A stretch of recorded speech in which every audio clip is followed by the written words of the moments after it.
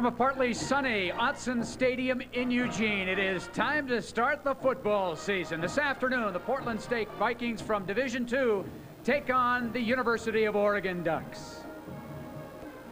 Head coach for the Oregon Ducks in his 18th campaign is Rich Brooks, and with one more victory, he will pass Len Casanova as the all-time winningest coach in Oregon history.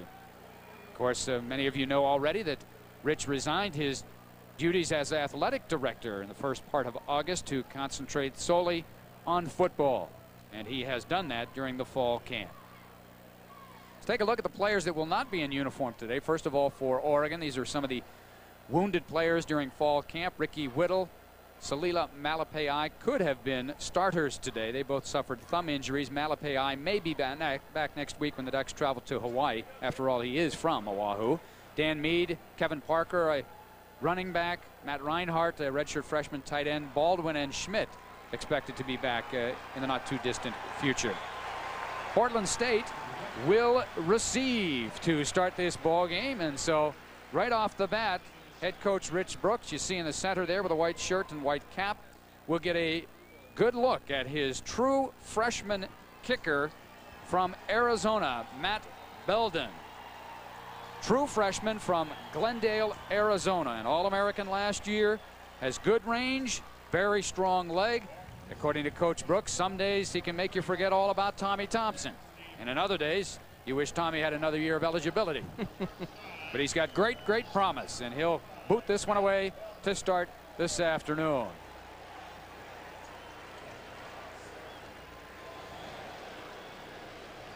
Take a look at the twin receivers for Portland State. Near side is Larry Austin. And we are just about set and ready to go. Breeze, I would guess 15 to 20 miles an hour from the southwest. Partly cloudy skies, but it's been sunshine here the last hour or so. Just a perfect day to kick off the football season.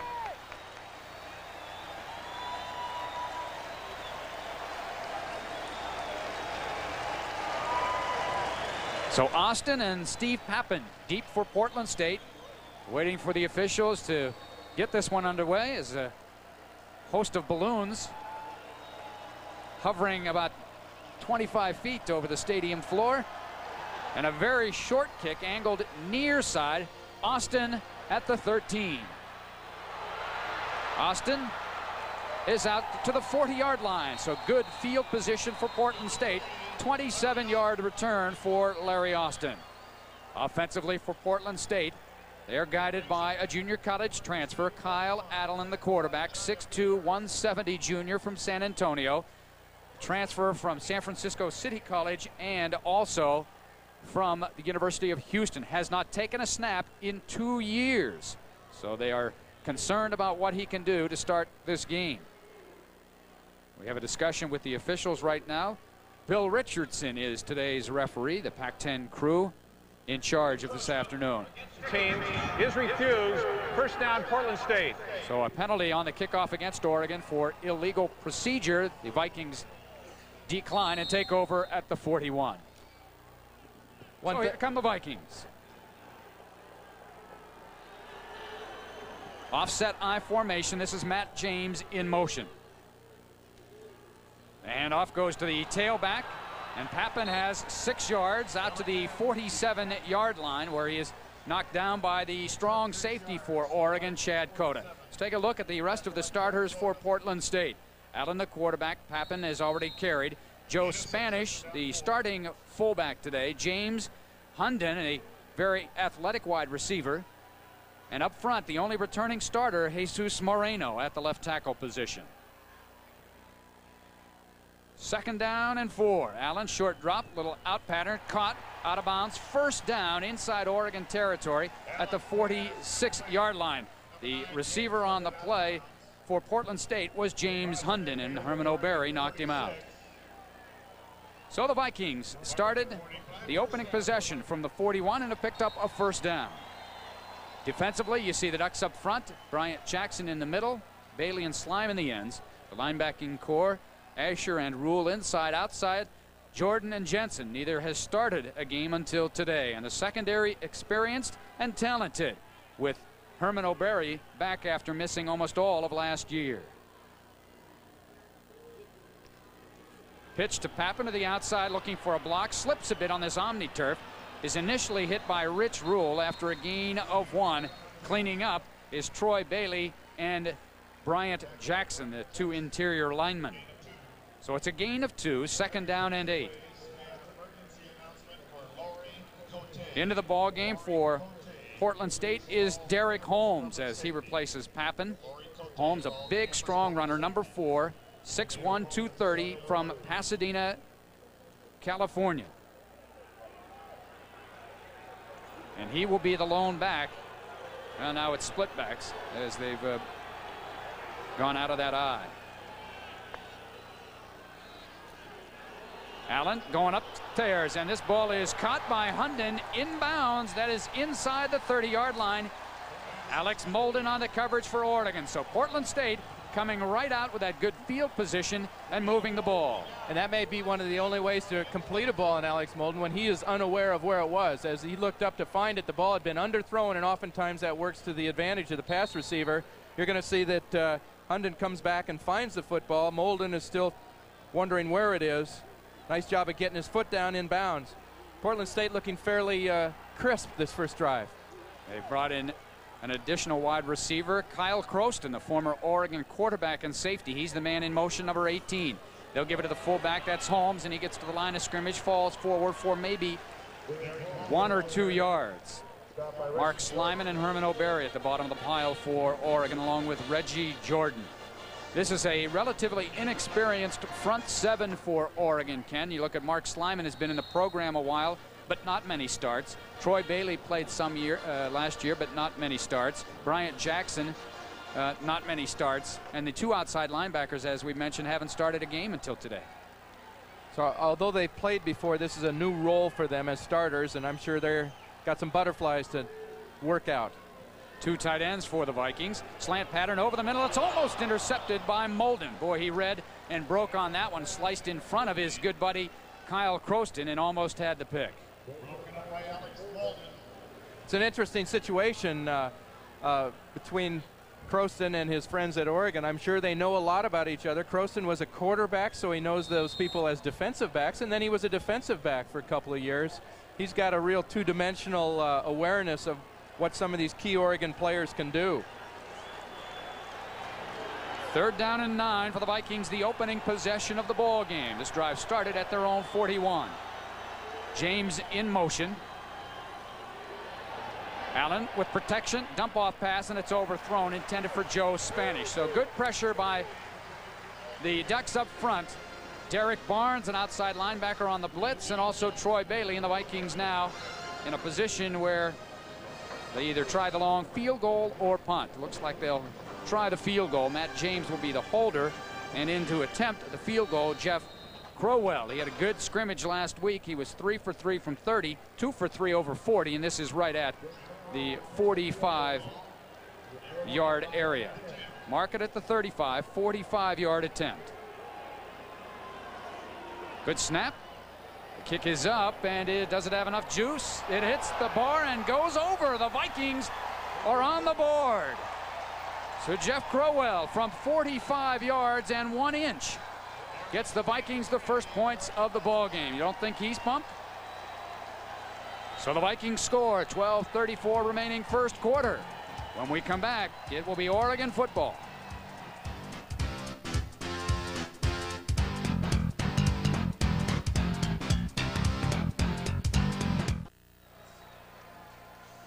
Well, the Vikings with the first points this afternoon as Jeff Crowell banged one into the wind from 45 yards out.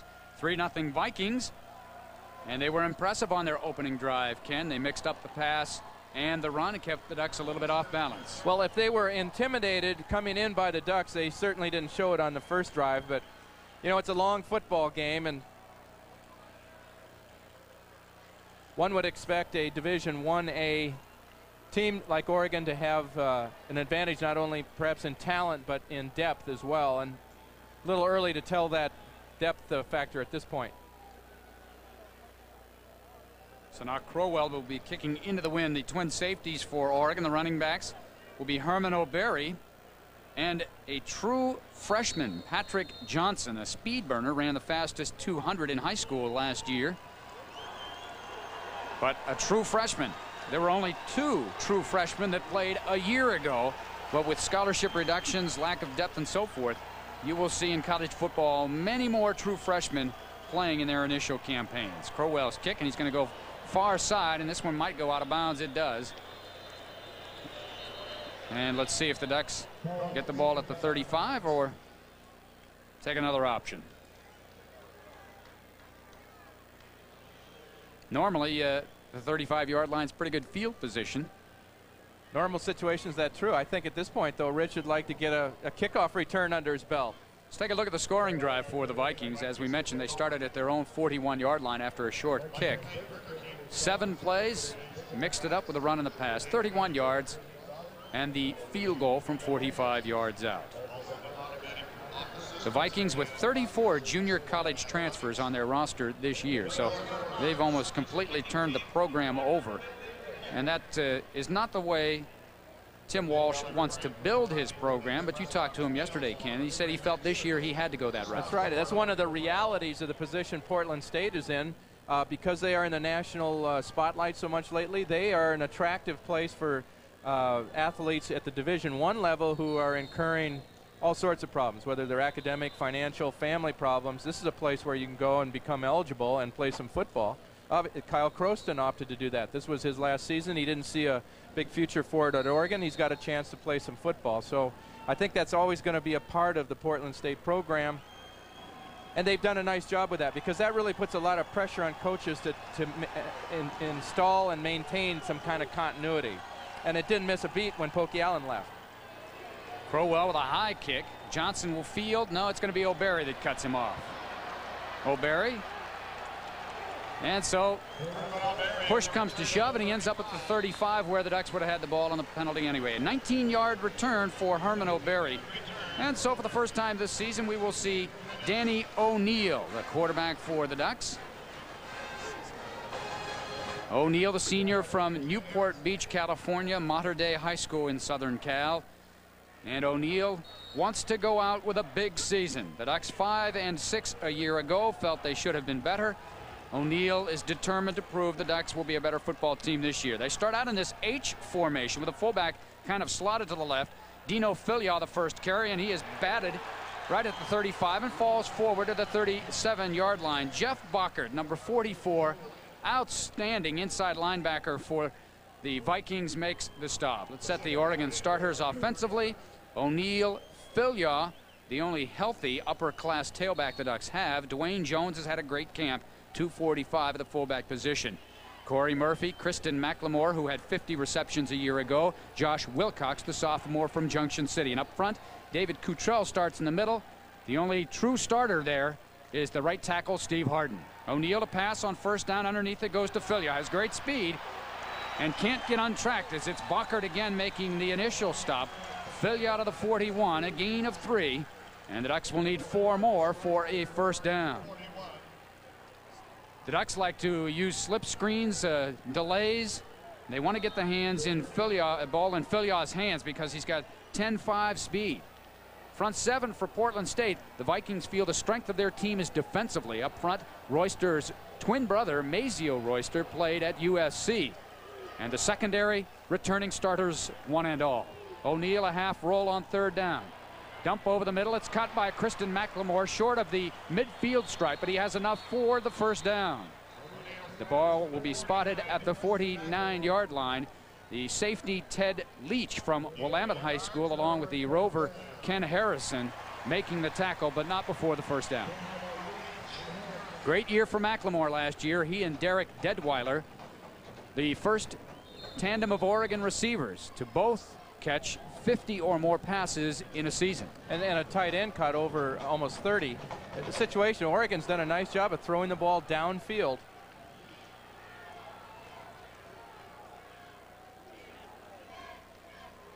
This is Marcel Stewart, a transfer. His first carry as a Duck plows forward into Portland State territory, a gain of three.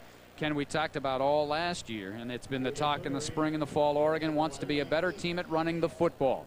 And last year, the lowest production in Rich Brooks' tenure here at Oregon, less than 1,000 yards net rushing.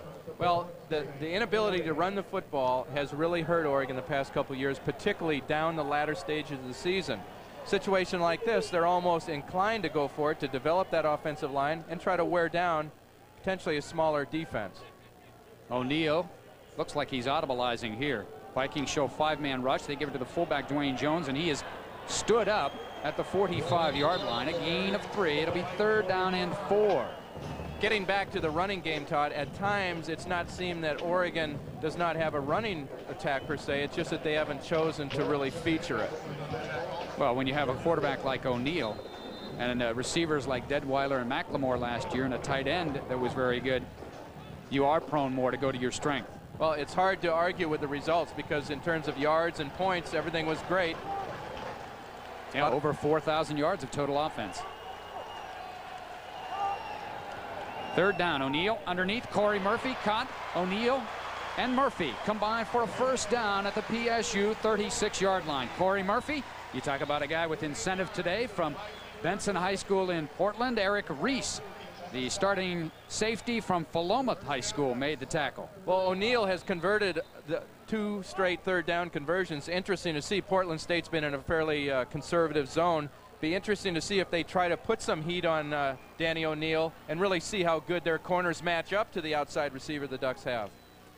No, hand it off. It's Philyaw back in the ballgame. There's Bockert again. This guy is everywhere and justifiably so considered one of the better linebackers not only in division two but maybe on the west coast. A young man out of prairie high school in washington signed with the huskies a parade all-american super prep all-american you name it he was on the list. 6'4 240 and he is a good one. Well and just some circumstances have been different. He might have been playing down in los angeles today. He is a great looking athlete and a fine football player. You're going to see him around the football all day today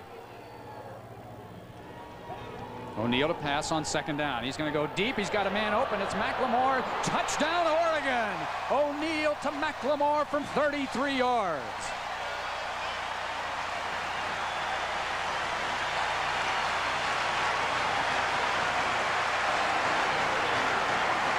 Looked like they split the defense there, Ken. The two deep and uh, McLemore right down the middle of the field. Well, both safeties got caught out of position. You know, McLemore safeties have got to give him credit. He can run. He can not only run well, but he catches the ball deep very well, whether you have him covered or not. He showed that several times last year. He's one of the, the premier uh, deep threats. He and uh, Stokes at Cal, I'd say, in the league right now. Ryan Perry Smith will hold as Matt Belden looks for his point as an Oregon Duck, and this one is through the pipes. So you can wipe a little sweat off the brow there, Matt. You, you're in the book. Tommy who? Man. Tommy who? Yeah, there you go. Well, you see the touchdown. Christian McLemore, his 12th touchdown in his career. Into the end zone he goes. The Ducks have the lead. Well, Oregon on its first possession gets a touchdown. A very impressive drive spearheaded by Danny O'Neil. Culminated with the pass to Christian McLemore. Oregon has the lead, so both teams scoring on their first offensive possessions. So Matt Belden ready to kick off again. His last kick only went down to about the 15-yard line. He'd like to do a little better than that. He's got a wind at his back. Steve Pappen and Larry Austin deep. This time it's Pappen on the near side. Belden this time with a much better kick as far as distance. Austin fields it four yards deep. He will bring it out. Slips and falls on the Omni turf. And he's down at the 13. So a little different field position for the Vikings on their second possession. Well, that last drive by Oregon, impressive. Eight plays, 65 yards, consumed just over four minutes on the clock.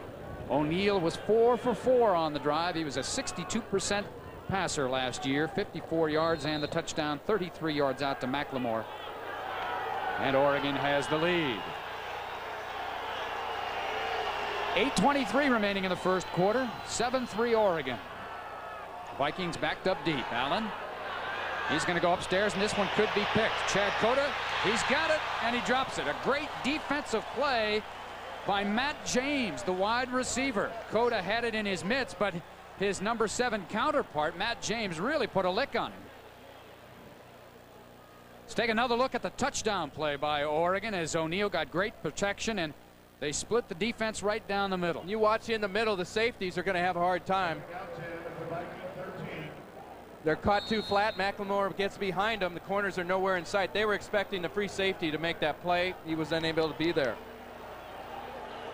McLemore with 10 touchdown receptions a year ago, tying the school record. Second down and 10. Allen this time looking for the dump pass. We have a penalty flag. The pass is complete to the 20, 21 yard line.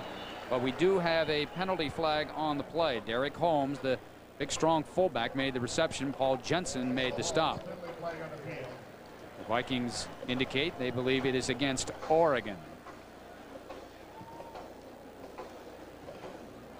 And it is a holding call against Oregon. Last year, the Ducks pretty good as they are most years in the penalty department. They were third in the Pac-10, seven penalties a game for an average of 58 yards. Holding against the defense, committed against an eligible receiver, five yards, 10 yards, automatic first down. Here's the situation. The Vikings look pretty crisp their first drive. They've just been scored on by a big play. They'd like to come back and re restore some stability to the game. Oregon's defense doesn't want to give them any kind. You know, this is the difference between a rout and a game that's going to go on and be in a close contest.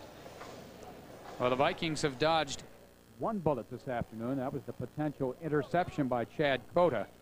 You know, the Ducks concentrated all spring practice, Ken, and all fall on takeaways. They had a horrible year in the takeaway department. They need to improve. They were 10th in the Pac-10 in turnover margin. They were minus 15 in that. That's right. They were only able to get eight interceptions last year. There's one. They drop it right in your hands. You got to have it. First down play. Allen on a roll. This guy's a very good athlete. Dump pass. It's tipped by O'Berry and almost intercepted by your golfing buddy, Jeff Sherman. Fans will notice on Jeff's left hand there a cast, and I swear I've watched him for three years now at Oregon. I have never seen him without some sort of armament either on his thumb or wrist. See, Herman O'Berry gets a paw on this one and changes the flight of the ball. And actually gives Jeff a shot at uh, intercepting the football. You mentioned him as a golfer. I, I, had an opportunity to play with he and his dad uh, after the spring football game this year. He played par golf, you know, and, and I, I was really kind of surprised. You think of a defensive back as kind of this gnarly guy. He's really a fine athlete. Coaches think so too. Second and 10. Oregon showing blitz, and here they come. A good call here. Holmes gets into the secondary, and Sherman slows him up momentarily, but Holmes, big, strong at 6'1", 230, and obviously a pretty good dancer as well. It's about eight yards. So that was an excellent call at the line of scrimmage by Allen as Oregon went with the blitz. Well, it's interesting to see. There is a blitz coming here, and Portland State has chosen to run against it. If he gets one more block out there, Jeff does a nice job of wrapping him up, and that's kind of hog tie him when you use your legs to tackle him, too. Whatever it takes. Yeah, that's, a, that's what they call a soccer tackle. it's a third down and two. 7.45 in the first quarter. Oregon leading 7 to 3. Allen, good protection out in the flat. Steve Pappen, and he is going to be close to the first down. Excellent play by Alex Molden. And we'll just have to wait on the spot. Right now it looks like he's a little bit shy of the first down. Well, you can see the quick defensive reactions That's by right. Molden. Well, and the entire Oregon secondary on the left side there reacted to the ball very well. Portland State had kind of a little slip screen out there. Wide receiver coming across trying to block or pick the, the man uh, responsible for covering the tight end. No, as we look at the quarterback there, Allen, uh, memories of Montana come back to mind and how uh, Dickenson really hurt the Ducks with his scrambling ability. Neil Zoumboukos, uh, Oregon defensive coach, saw Allen play in junior college and said, hey, this guy can really create some damage when you get him running around. And Nick uh, Aliotti, uh, harkening back to that Montana game, said one of the key things defensively is we've got to get guys not intent so much on the sack, you know, the personal statistics. We've got to keep Allen inside in there where we can defend them. We think uh, we'll be able to better control the situation if that occurs.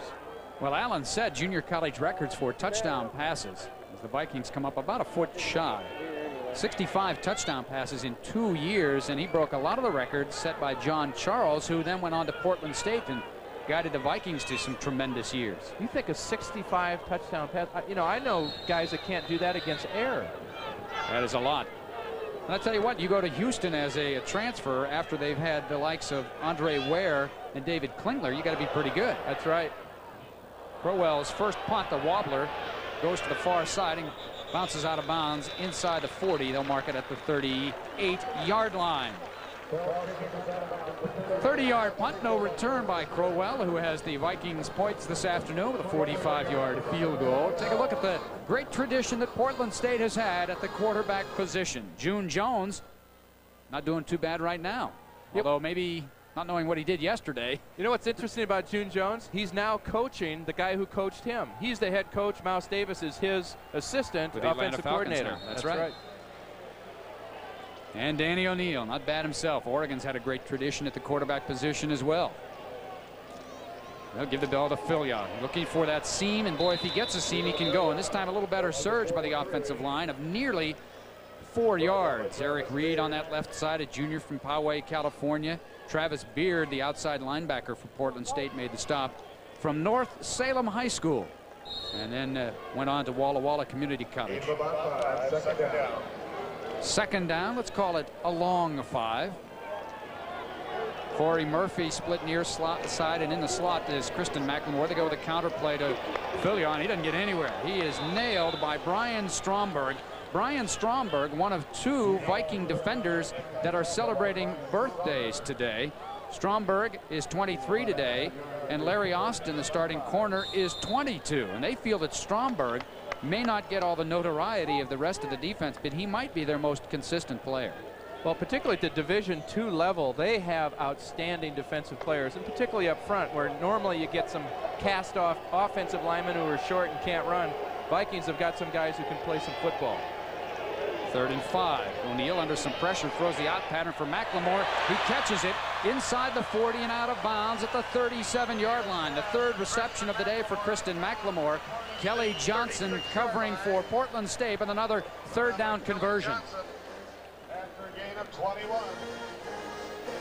You see last year how efficient and accurate Pac-10 quarterbacks were. Rob Johnson had a sensational year, and Dave Barr, who was injured midway through the season, at 68%. And this comes in a, a, league that the year before had seven out of the top uh, 15 defensive teams in the country. So those are outstanding players. Philyaw spin and wiggle to the 30-yard line, a gain of six. Point about uh, O'Neil, he has uh, converted all three third down conversions. That last attempt, Portland State brought some heat. I think Portland State secondary is going to have a difficult time matching up one-on-one -on -one with the outside receiver of the Ducks. See Philyaw once again. It's Stromberg making the tackle. 6'4", 271, a senior from Sunset High School in Portland A transfer from Siskiyous Junior College. Was a starter last year, had a couple of sacks and three fumble recoveries. Here comes the counter play. Philyaw behind the pulling H-back, Malepeai, close to the first down. Making the tackle, Travis Beard and Vernon Mitchell. Mitchell, 6'3", 244, a junior from South San Francisco High School. Mike Bellotti, the offensive coordinator, was telling us yesterday that Philyaw actually is in action a year prior than they had anticipated. They had hoped to redshirt him last year because of injury problems. He was pressed into the fray, and that he's actually had not a lot of experience or repetitions. And uh, again, uh, he's in there. He's got to make the best of it. They, they think a lot of his breakaway ability. Dwayne Jones now the fullback, two tight ends. Here's the pitch. It goes to And he's going to be nailed at the line of scrimmage. But on that third and one, it looked like the Vikings a little over anxious, and they might have been offsides. We'll check the indicators. And Stromberg is injured. He's down at the 30. And that's the last thing the Vikings want to do is lose players in this game. And Stromberg, a tough kid, but you can see having some problems with it looks like the shoulder area. Brian Stromberg, 52 tackles last year from a defensive lineman's position. That's pretty good. That's good production. The penalty is against Portland State. It'll be offsides, and so Oregon gets the first down via penalty. You see Stromberg looked like he might have been the guy in the neutral zone.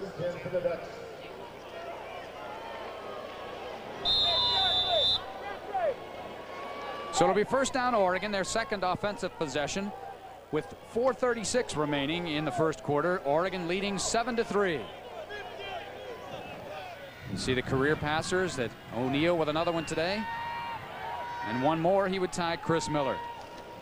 Play action pass. O'Neil scrambling, loses it, picks it up, runs, scrambles, still on his feet. Little ad lib by Danny O'Neil, who was voted the most difficult quarterback in the Pac 10 to tackle. And he gets about four yards. Rick Anderson finally tripped him up. when do they have that vote? That's a preseason. You know, they have a they have a poll for just about everything conceivably imaginable in these uh, preseason magazines. Most difficult Pac-10 quarterback to sack and well, to tackle. The first problem you see, he tries to swim the tackler with the ball in his hand, but there again, it's athletic ability after that as he picks it up and makes a positive play out of a negative one. They'll give it to the running back. This is Kenny Wheaton. And I say running back momentarily for Kenny Wheaton because he came in and played defensive back last year, redshirt freshman, and he was penciled in as one of their top six corners this year. But with the injury to Ricky Whittle and the freshman Kevin Parker, Kenny Wheaton moved this Monday, last week, a week ago, to tailback. Nick Aliotti, the secondary coach, re-emphasized to us yesterday, this is a temporary move. He can't wait to get him back on defense, but he knows that the offense is hurting now at that position and can use somebody. Obviously, it's their advantage if they can score points and take pressure off the defense. Third down play. O'Neil has been perfect on third down so far, and he's got another one. Josh Wilcox, the little juggling act. And Josh Wilcox has a first down inside the five to the two. His first reception of the year, John Gentry. The cornerback had to upend him inside the five. Well, his coach, Neil Zoumboukos, was telling us yesterday if he has any problem, Josh has a tendency to run before securing the football. And that happened on the first uh, reception of his career last year against Colorado State. You be the judge here if he's improved. Uh, I'm going to secure it. Nice job. First and goal from the two. This is Kenny Wheaton, and he is met at the two and thrown back. A penalty flag thrown in the middle of the pile. Boy, that Viking defense up front is tough right now. Frank Stammers. Yeah, it looked like 62, but I guess it, it wasn't. But anyway, we have a face mask. Maybe that's why Kenny went down so fast. Face mask against Portland State. Personal foul, 15-yard face mask foul against the defense, half the distance, automatic first Ryan down. Stromberg back in the game, number 92. And this is a situation where the Oregon-Portland State rivalry will intensify because here's the favored team on the goal line, the underdogs on the goal on the goal line as defenders. You got to say, hey, we're going to run the ball. If we can't run it against you, that's a real insult. So it'll be first and goal again. This time from the one. Ninth play of the drive. Toss it goes to Wheaton. Looking for the end zone, and he scores. The converted defensive back gets the first touchdown rushing for the Ducks this year. Did you see O'Neil move Wheaton over to his left?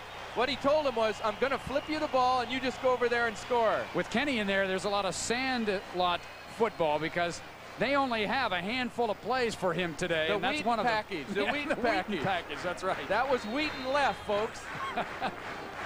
Well, the young man from Arizona gets his first touchdown. He may like being on offense and uh, may lobby for more of that. And on the serious side, that's what's great about having an experienced quarterback who knows the offense well enough that he can help make those kind of corrections. Another young man from Arizona in to attempt the extra point, and Matt Belden is through. So Oregon now has scored on consecutive possessions. 2.39 remaining in the first quarter. It's Oregon over Portland State 14-3.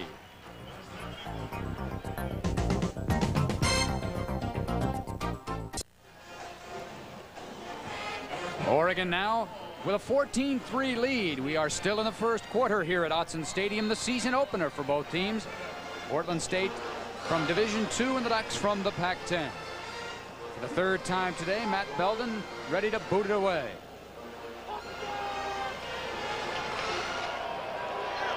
This one fielded by Pappen at the five. Got away from the wedge a little bit. And he runs into Isaac Walker and down at the 25-yard line. Good discipline there by the Oregon kickoff defense. Walker stayed in his lane, a 20-yard return. Take a look at the scoring drive for Oregon. Nine plays. That time, Ken, they used the pass to set up the run. 62 yards, four and a half minutes. And Two Kenny more Wheaton, the redshirt freshman, getting the score. That's right, and two third down conversions by Dan O'Neil on the pass. Here we got the Wheaton package, Wheaton left, touchdown. Pretty good blocking by the left side of the Oregon offensive line. Got to learn to carry that ball in the left arm there instead of the right arm. Now you'd say, Coach, at least I was going the right way. That's right. Kyle Allen remains at quarterback. Fumble. Ball is loose. Scramble for the loose pigskin. And Jeremy Asher may have recovered and does for Oregon. Well, now things slipping away from the Vikings here. Let's see who does have it. It's not 44.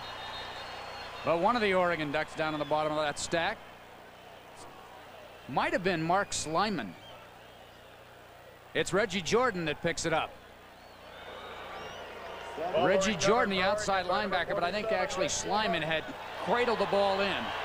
So Oregon with its first turnover of the afternoon and now in great field position at the PSU 20. Well, they've given the Oregon offense uh, scoring position, and they're in a four-down area. Don't have to worry about punting down here. Looked like the Oregon, or the uh, Portland State quarterback, the running back, was supposed to be on the uh, uh, draw play, and he took off too early. And Allen tried to get it in there late, hit the hip. That's the problem that Portland State is faced with right now is that Holmes has only practiced two days. Allen is fresh to the program as well. That continuity factor is something that the PSU coaches are concerned about. Well, and they're, I think they're aware that that's a factor in this game. O'Neil to throw on first down. Good protection, pumping up, looking for Josh Wilcox. He's got it in the end zone for a touchdown. He beat the linebacker, Travis Beard. Danny O'Neil right on the money, and Wilcox at 6'4", 240 pounds, hauled it in. Officially a 19-yard touchdown pass and reception. Well, that's what defense can do for you, Ken. It set up good field position. The Ducks able to strike on the first play. That's right, and fans are wondering uh, how much are we going to miss Willie Tate? You know, for all we could have changed numbers there, and that's the same kind of play Willie Tate made fairly commonplace. Wilcox is a great, great athlete. Zoumboukos was telling us yesterday that he doesn't consider him much of a leaper, but on that play, that was sensational. He played basketball in high school out at Junction City. So Belden getting a workout early in Oregon putting some distance between themselves and the PSU Vikings. It's 21-3, 2.18 remaining first quarter.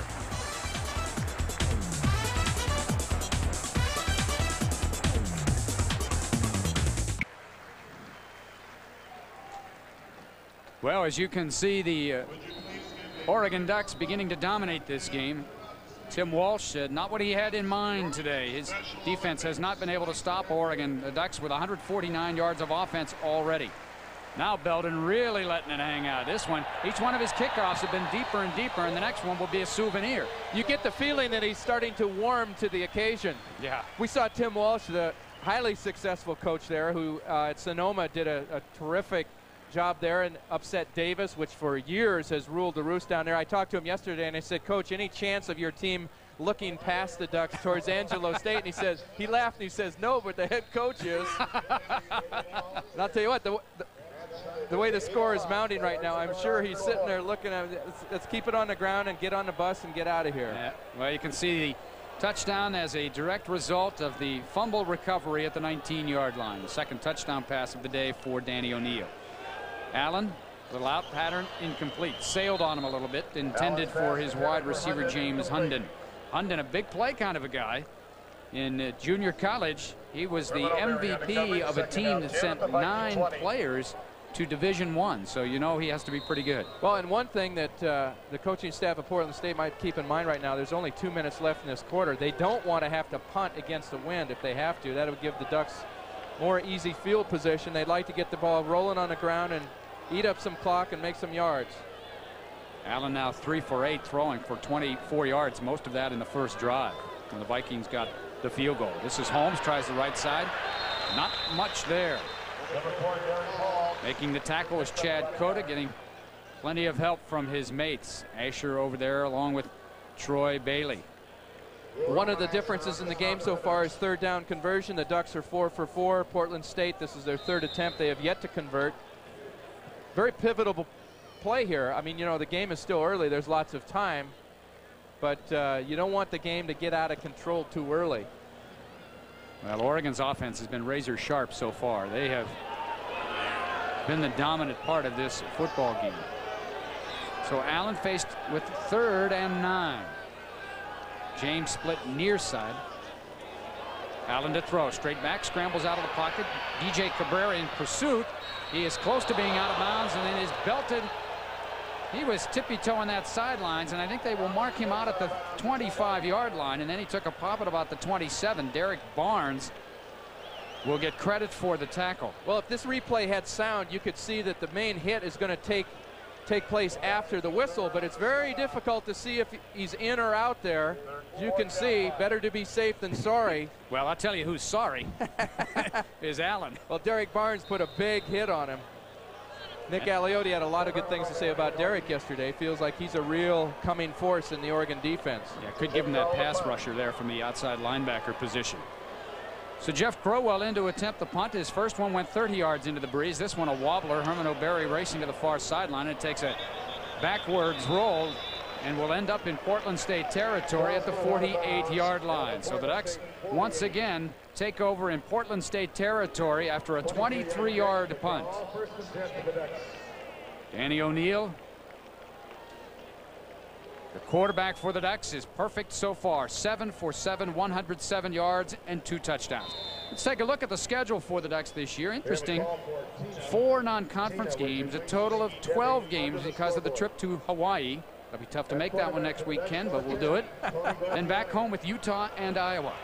Now we have Tony Graziani in at quarterback with 116 remaining in the first quarter. So didn't take long for Rich Brooks to go to his backup. Graziani, a little swing pass for Philyaw. Philyaw looking upfield, saw Travis Beard and decided he wasn't going to get that one. Well, we talked to Mike Bellotti, the offensive coordinator and quarterback coach yesterday. He said that coming into fall, they, they told Tony, hey, if things look, you know, you, you, you look well, we're going to give you some quality playing time early.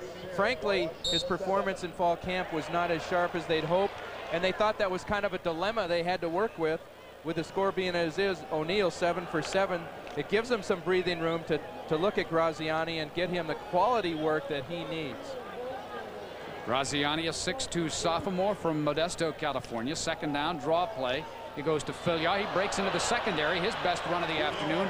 Close to the first down at the Portland State 39-yard line. Jeff Bockert, number 44, along with Neo Fendel, make the tackle for Portland State getting back to Graziani, Bellotti told us he felt that for the first time in a long, long time, Oregon had a real quality backup quarterback. And uh, it was just a matter of getting some reps, getting in a game. I, am sure that he could not be more pleased right now at this stage than be able to make that substitution. Graziani threw only four passes last year, two of four. One of them, uh, we remember, a big third down conversion at Colorado State. Here's Dwayne Jones. He's hit at the line of scrimmage by Bacher, slips off of that hit, and gets the first down. Dwayne Jones, one of the good surprises for the Oregon coaching staff in the fall. Had to wait for his opportunity behind Juan Shedrick last year. Now he has that opportunity, and he's ready for a good season. At 245 gives the Ducks a big, strong guy from that fullback position. The only knock against Jones has been his tendency to uh, lose control of the football at times. Uh, they feel that uh, that's something he's going to have to work work on. So far, so good. Now Jones is the lead back, and he gets a nice block, and Fayot is upended at the 33-yard line. Boy, that is a textbook tackle by Jeff Bockert. He's been on five or six tackles already.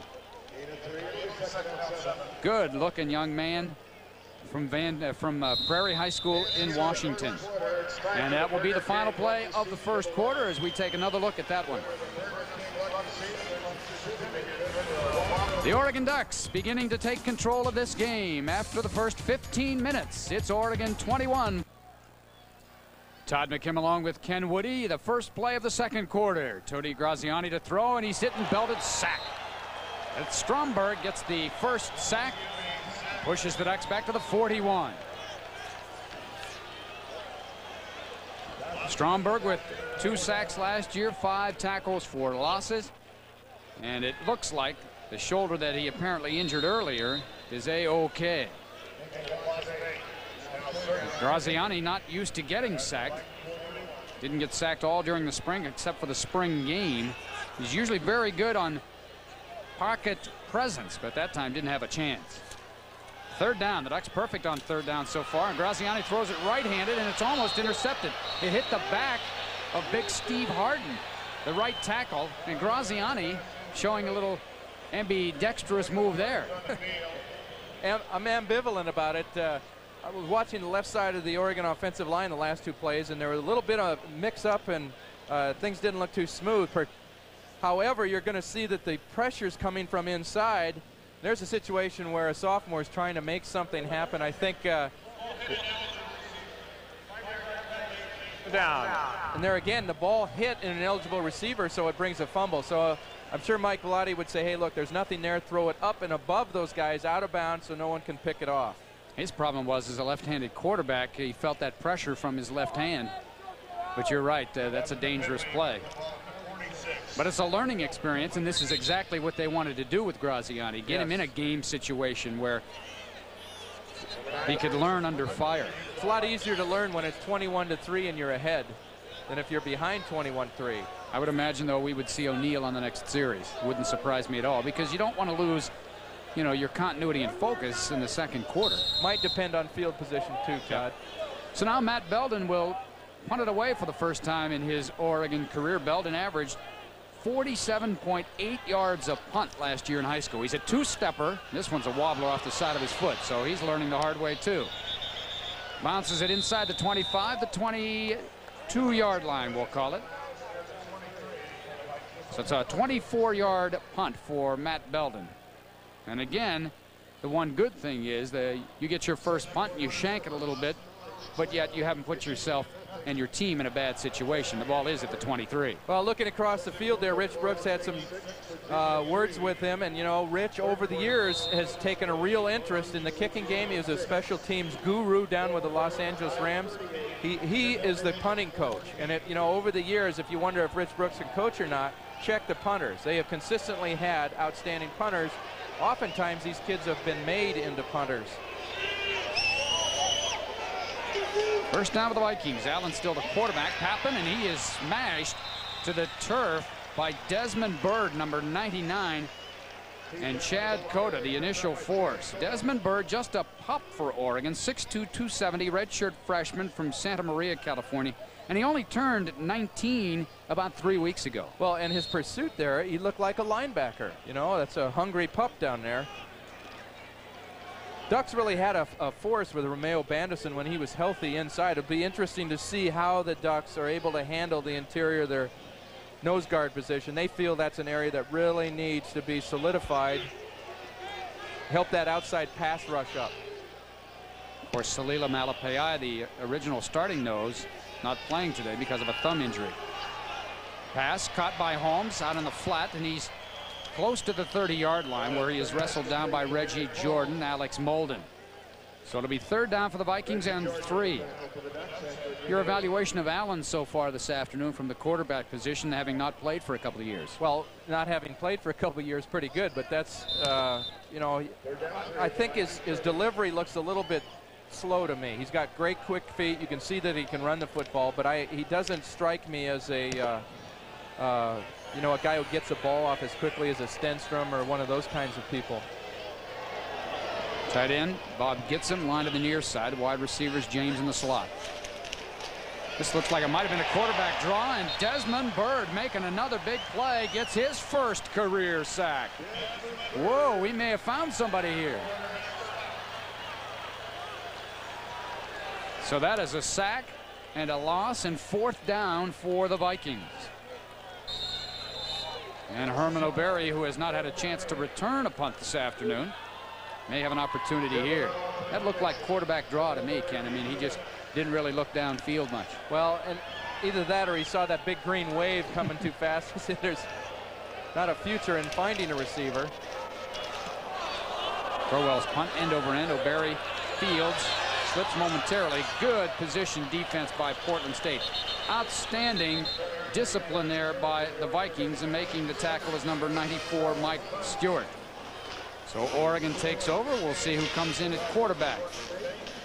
39-yard punt, three-yard return. And it's going to be Tony Graziani. Mike Stewart did a nice job of punt coverage there. There were three players inside, no one outside. The Ducks had a great picket line down the uh, sideline there to the Oregon side. Next time the Ducks field a punt, let's look for that side return. 11.53 remaining second quarter. Oregon leading Portland State 21-3. The Ducks scored on three consecutive possessions in the first quarter. This is Graziani's second offensive possession. Tailback remains Philyaw. He tries to bounce it outside, and no way. Jason Heffley, this guy is a fired up football player. Aggressive, tough, emotional. They really like him as a leader. Well, and the Ducks had something inside. Pulu Malepeai, I, I, think that the uh, Gary Campbell, the running back coach, would have hoped Philyaw had stayed inside his block. He ended up bouncing it outside, and there was nothing there. Blake Spence in as a tight end right now. Dameron Ricketts at wide receiver. Seeing a little bit of shuffling up front for Oregon as well. Tasi Malepeai in at right guard. Vikings showing blitz. Now Wilcox. He wants to go in motion awful bad, doesn't he? But they stay there. He gets a good block. Philyaw bounces through a crease over the 40 to the 42 yard line. Gain of eight. Eight Let's take you down into the trenches. Brian Stromberg, number 92 in there against Steve Harden. And one of the things that Portland State felt is they've got some good nose people inside. The Duck offensive line coach, Steve Greatwood, told us if we can handle their nose, we feel good about the running game. That play, results speak for themselves. 39-year-old Tim Walsh, 8 and 3 last year with the Vikings, got them to the first round of the playoffs. That 8 and 3 mark, based on his one year of tenure, is the best winning percentage for a coach in Portland State history. Graziani facing some heat. Over the middle, caught by Wilcox. That should have been an interference call. He was hit before he caught the ball and then dropped it. But pretty good coverage over there. Brockert, Matt Bockert made the stop, made the hit. There's a bang-bang call, and the Ducks will have to punt it away. And the Viking fans get an opportunity to cheer their defense.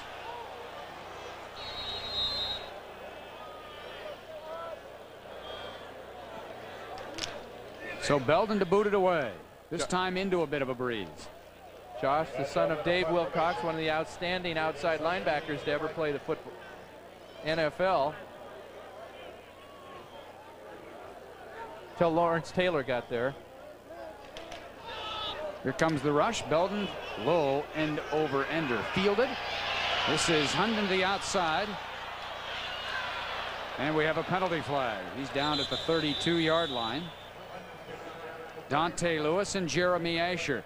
You will see more of Oregon's first line people on special teams this year than in years past. That due to the greater emphasis that Coach Brooks is placing on the special teams. I think one of the other reasons you see it is because they have such great depth in their secondary. They have a lot of good experienced corners and safeties, and those are just the kind of people you like on block in the back teams. by the return team. 10 yards, first down. Penalty against the Vikings for illegal block in the back, march it off 10 yards. So they'll put the ball down at the 21 yard line. Let's take a look at the Portland State schedule. This is a real interesting schedule. They're an independent at Division Two. They discontinued affiliation with the conference two years ago. Angelo State, that is a huge game for Portland State. Then you go on down the line, you see that big game on September 24th against the team that thrashed the Vikings in the playoffs last year. Texas A&M Kingsville. Quite a rivalry they have with those guys. Yep. I bet they have close to 20,000 uh, at Civic Stadium in Portland for that one. Pappen trying to get to the outside in a foot race with Chad Cota. Sealing him off is Alex Molden, but a good run by Pappen bouncing to the outside, gain of five. Vikings have not been able to consistently rush the football today. Well, they've not had a first down since the first uh, drive of the game. And, the situation here, the Ducks have been stopped on two straight occasions. Their defensive uh, unit for Portland State beginning to get fired up. Now, if the offensive unit can make some yards, you know, kind of at least put the Ducks in bad field position, the pressure now uh, is, will shift to Oregon.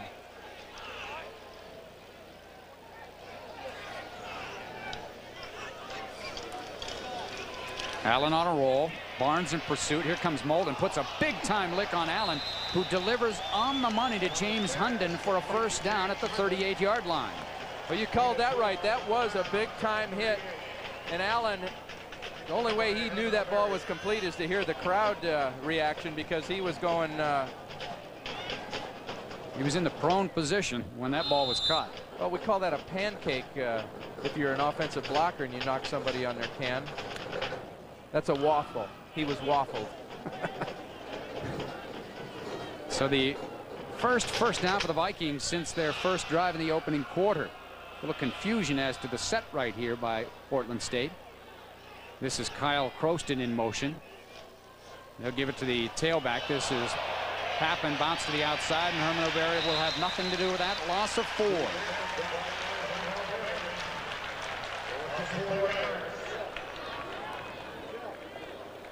Well, there's a lot of guys for Portland State talking to each other. It looked like there was a blocking uh, snafu. And as it was mentioned to us early on, there are a lot of these Portland State players uh, uh, have been were eligible late. Uh, there, there's guys who weren't here for spring football. They're counting on a great deal. You know, quite frankly, uh, Tim Walsh would like to get a lot of repetitions for his good players, get out of it healthy, and use this as a real springboard of getting this team to come back together cohesively. Derek Holmes is the lone back. We have a whistle and the 25 second clock has expired, so that will be delay of game Portland State. For an opening game, there really haven't been that many penalties. A lot of times you see those opening games with a host of procedure penalties and uh, illegal blocks. We haven't had a whole lot of that this afternoon. We've certainly not had a host of them. No. So now march it back five yards. It's second and 18 for the Vikings. Oregon will come in with extra defensive backs. As Lamont Woods comes into the ball game. And bring in an extra down lineman. Here comes the six-man blitz. Dump over the middle, caught by Hawley, and immediately wrapped up by Alex Molden. Kyle Hawley, a sophomore from Dallas, Oregon, had six receptions last year, and Alex Molden all over him. Alex Molden, two years ago in the Independence Bowl, suffered a severe knee injury. Nine months later, he was back in an Oregon uniform. And when Herman O'Berry went down in the Colorado State game, Alex Molden was forced to play earlier than he was ready to play. And he would admit that and struggled last year, unable to play at the high level he had as a freshman. But he is back at 100% plus and looks as good as uh, any defensive back the Ducks have had for a long time. Well, great reaction on that last play. The rollout by Allen. This one is up for grabs. And who's going to get it? Nobody. So Allen incomplete. Good rush by Mark Schmidt. Number 54 applying the pressure along with Rich Rule. And the Vikings forced to boot it away.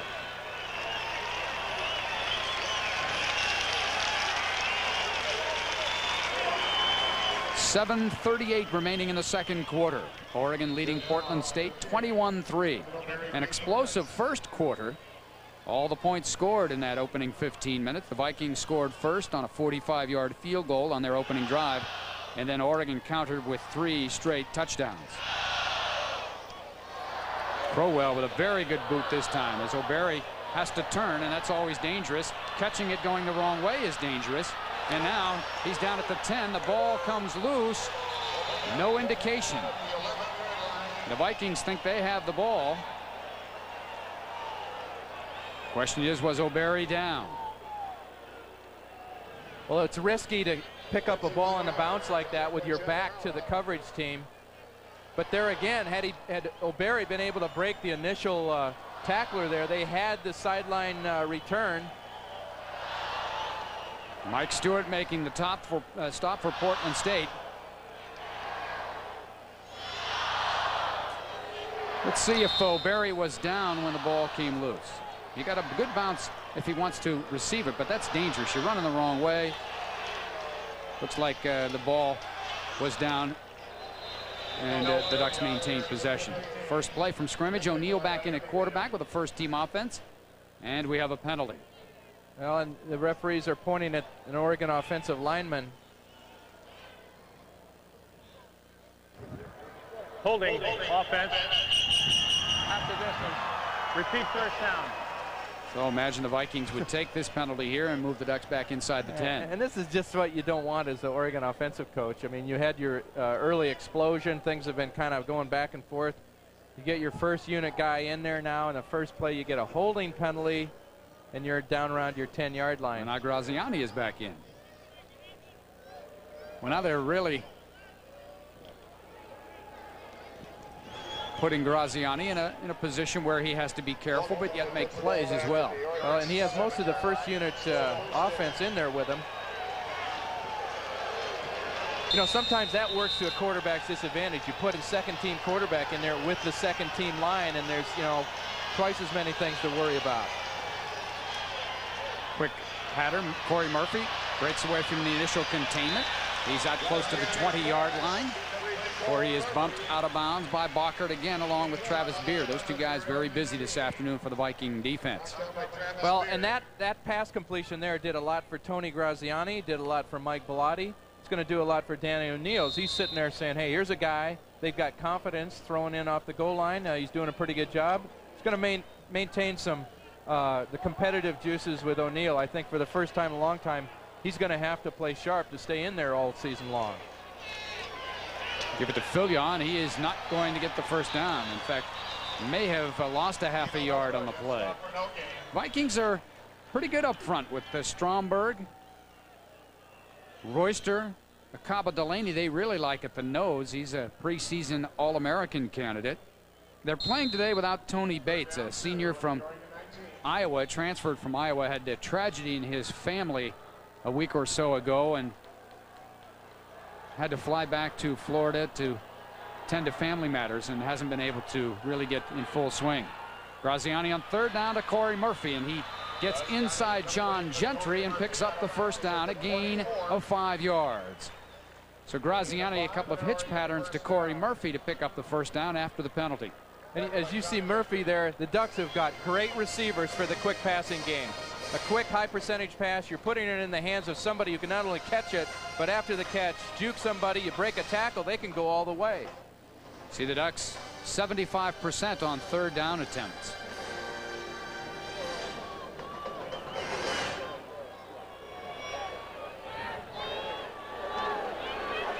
They'll give it to Philyaw, trying to bounce to the outside. Does momentarily, but closing quickly from the safety position is Eric Reese from Philomath High School, and that keeps Philyaw to only a three-yard gain. Last year, the Oregon uh, pass offense averaged over 14 yards of completion, and that's a big, big statistic. Says a couple things. One, they got guys who can do something with it after the catch. Second of all, they're very successful in throwing the ball downfield, putting pressure on secondaries. See Philyaw there, you'd like to have seen him put the ball in his outside hand away from those rushers.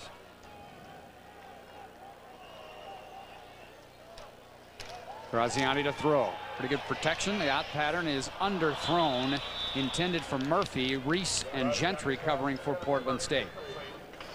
So it'll be third down and six for Tony Graziani and the Ducks. The Ducks are six for eight right now in third down conversions. About twice the third down conversion rate they had last season, which for as successful as the pass offense was, it was kind of on the low side. Marcel Stewart checks in in place of Dino Philyaw, tailback. So the Ducks will go with the normal set, although they'll split the two wide receivers to the top of the screen. Slant pattern, underthrown, and I'm not sure if that was thrown for Murphy or McLemore, and Graziani continues to struggle. Has uh, not been sharp this fall after a very good spring, and so Oregon is forced to punt it away. So now this game is kind of turned into a lull where neither offense has been able to generate much. Well, on the positive side there, the Ducks came back from a holding penalty and got a first down. That was uh, a nice little accomplishment. But right now, the game is kind of stabilized, and Ducks will be punting against the wind. The kicking game has not been real sharp for either team so far.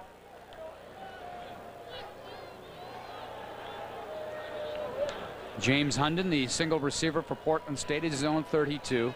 Here's Belden. Comes the heap. It is a two-stepper. He gets it off. A wobbler. Hunden calls for, makes the fair catch at the 44. So Belden has not been able to get one to turn over this afternoon. He's got a strong leg, but it'll take some time. Only a 28-yard punt. And when we come back, the Vikings will have the football.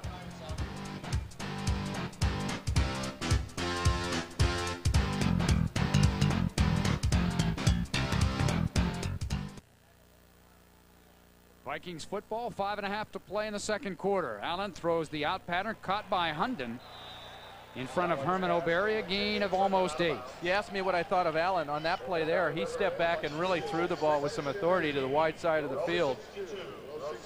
By far one of the most direct and uh, I guess I would call it a confident pass. He threw that ball with some uh, mustard on it. Timing pattern with Hunden.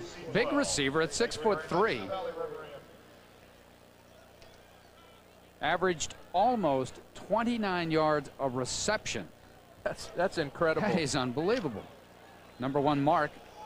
It's almost junior colleges. It's almost as good as your mark back in Pennsylvania in high school, Todd. That was punting.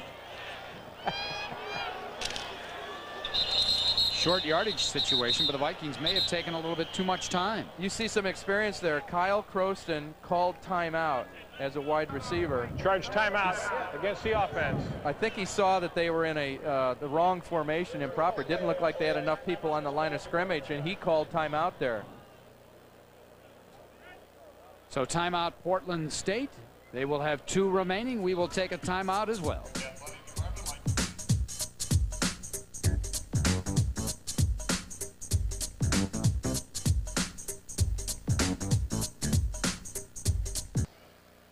Welcome back to Autzen Stadium, second quarter. Oregon leading Portland State 21-3.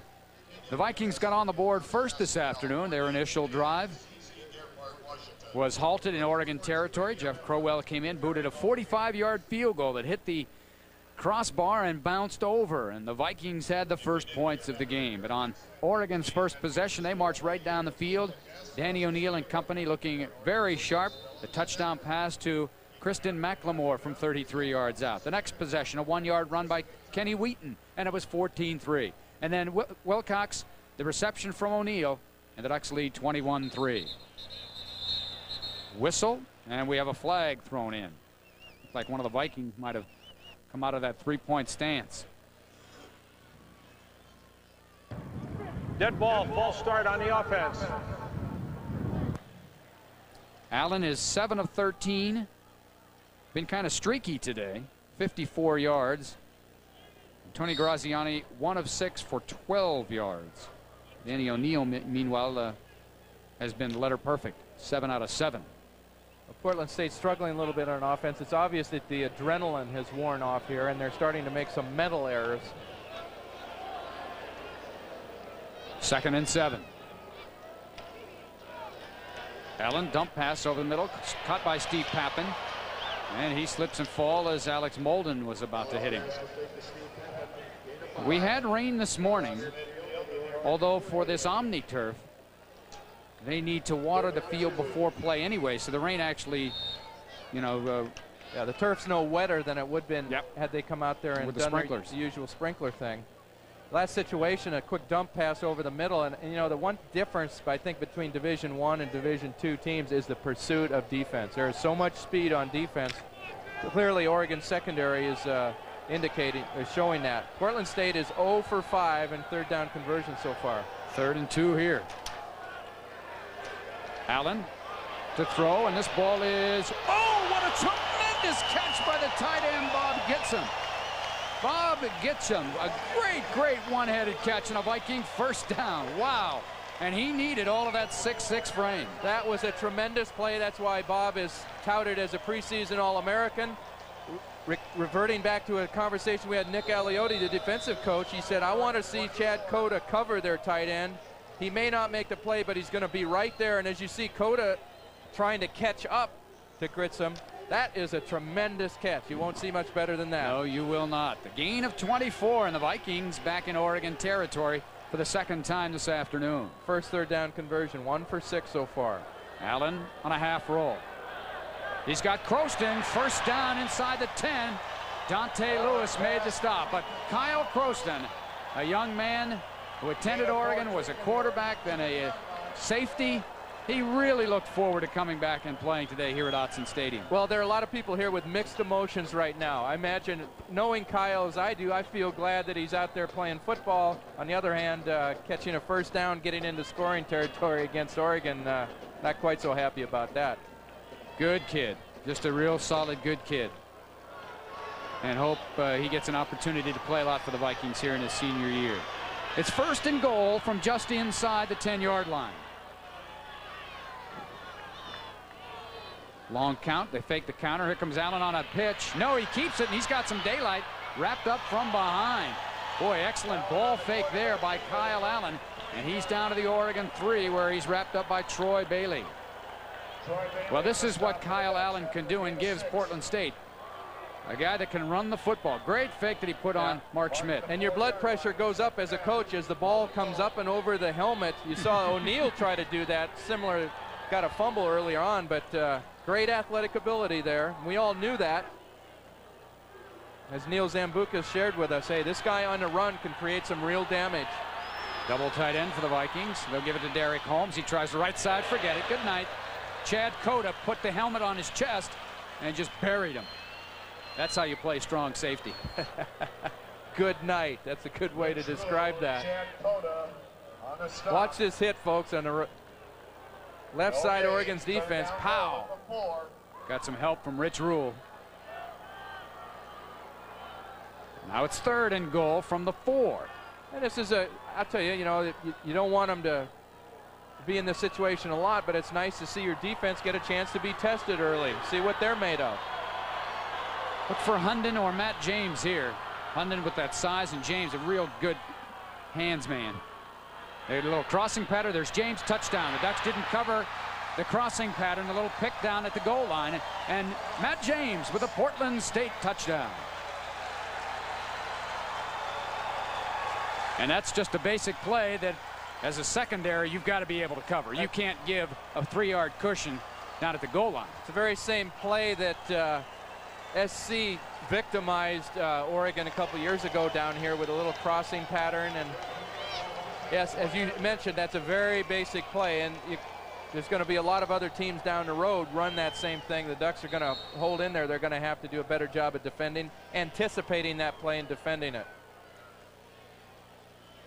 Well, Matt James got caught up in the celebration, but he forgot that he's the holder as well, so he's got to come back out onto the field and take the gloves off. Well, give the Vikings real credit because they could have had their heads down. They've come back and uh, made this a contest. Credit the great catch by their tight end. This one's going to be blocking. You can return this, and a good, smart play by the Portland State man right there. Don't pick that thing up. Just fall on it and end the play. And you can see Tim Walsh is not a happy camper. That one was blocked right up the middle. But the Vikings get a touchdown. Do you think, Todd, that if the first kick's blocked, if you could get it back on the tee, you could try it again? Good luck. so the Vikings get a touchdown. 2.13 to play in the first half. It's Oregon 21, Portland State 9.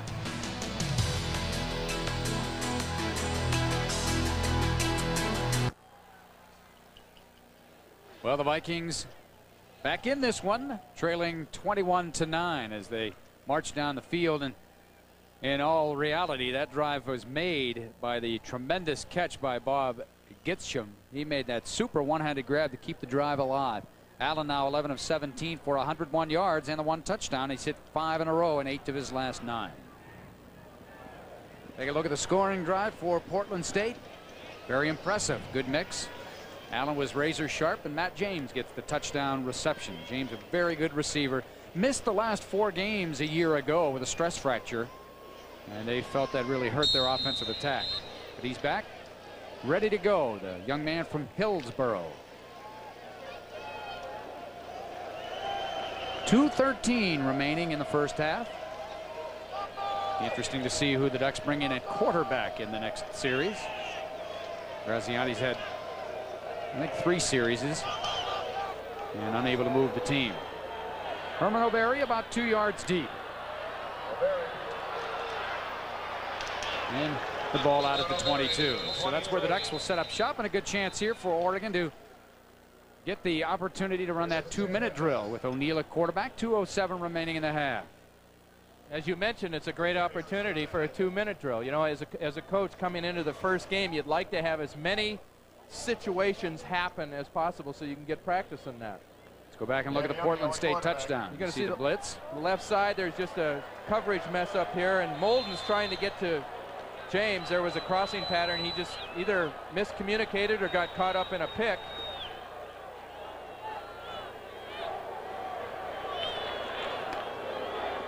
Here's O'Neil. The blitz is on. Dump pass for Philyaw incomplete. Jason Heffley covering for Portland State. Ducks have all three of their timeouts at this stage. Washington 14, USC 10. Second down and 10. The clock stopped. 2.04.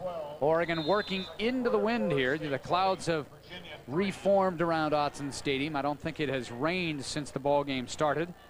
But into that wind, they'll make it a little more difficult. That's right, good point. And if the Ducks don't get a first down or two here, they'd be punting into the wind. Their punting average 30 yards or less.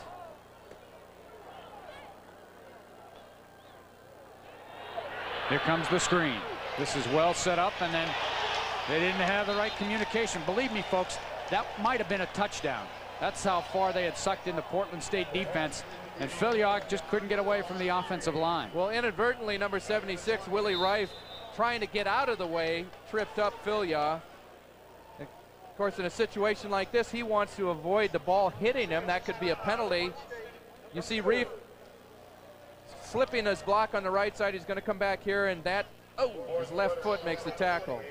There's a lot of running room out to Yep. the left side here. And with Philyaw's speed, there aren't many guys that would have caught him. But now Portland State wisely takes us a timeout. 147 to go in the half. And they're down only 21 to 9. So Oregon offensively, razor sharp in the first quarter, went with the second team uh, quarterback and some of the other positions and haven't been able to do anything. You look at the total yards in the second quarter, dominated by Portland State after the Ducks had had about 150 total yards in the first quarter. You sense, you know, you look back and say, what if and that, but the first responsibility is to win the football game. The second one is to play your troops. And it, the Ducks, in trying to do both simultaneously, maybe have given Portland State a window of opportunity. They may have. Uh, you know, looking ahead here, if the Ducks fail to convert on third down, they have done so six out of nine so far, but they'll be punting into the wind. The last uh, punt rush, Portland State put a lot of pressure on the punter, came very close. It's third down and about 12. O'Neil the out pattern for McLemore, and this ball is incomplete. Defending Eric Reese. That ball underthrown and I believe affected by the wind. So now the clock is stopped with 140. And Portland State will get the football with the wind at its back. Not a good offensive series by Oregon. Not good timing there on the screen pass on second down.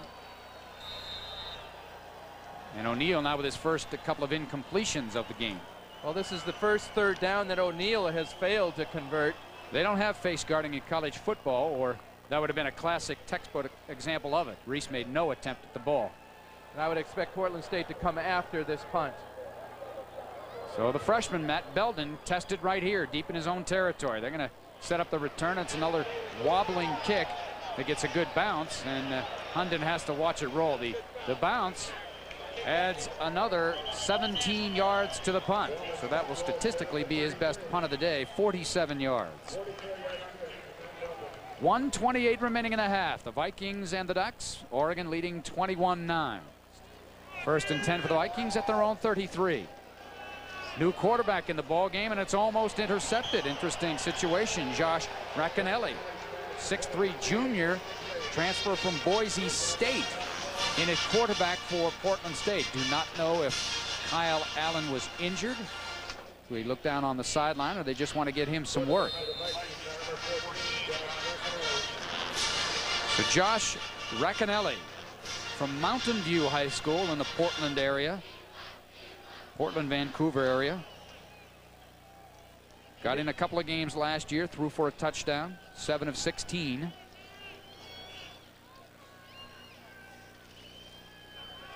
There's a pass, and there's a little miscommunication between Hunden and his quarterback. So it will be third down and 10. And now if you're Oregon, you're thinking if we stop him here, we get it back. That's right. The Vikings with the only points of the second quarter. Touchdown pass from Kyle Allen to Matt James. Portland State's one for seven on third down conversions.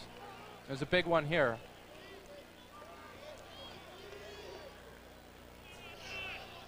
Here comes the blitz. Fake the draw. And that will go as a big loss. See if Oregon takes timeout. Rich Brooks is yelling for timeout. And the Ducks don't get it. They still don't get it. And now they finally do. That's about six, eight seconds lost there. So 105 remaining in the quarter. Loss of nine on the play for Portland State. That was not what Tim Walsh wanted to see No. in that series. And now here's an opportunity to try your punt rush. You know, really nothing, nothing to lose by, uh, well, not a lot to risk by a roughing the kicker penalty at this stage. They are going to put another a couple of seconds back on the clock, so they'll mark it at 109. Well, Herman O'Berry back there, the Ducks wanted to improve on special teams, desperately wanted to improve their punt return area. It's a phase of the game that can really spark a team, make a difference. Last year, they averaged only about five and a half yards a return, did not have any touchdowns on the punt return game. And Herman O'Berry is a guy they feel that can make a difference back there with his athletic ability. Let's see if they come after him like you were saying, Ken.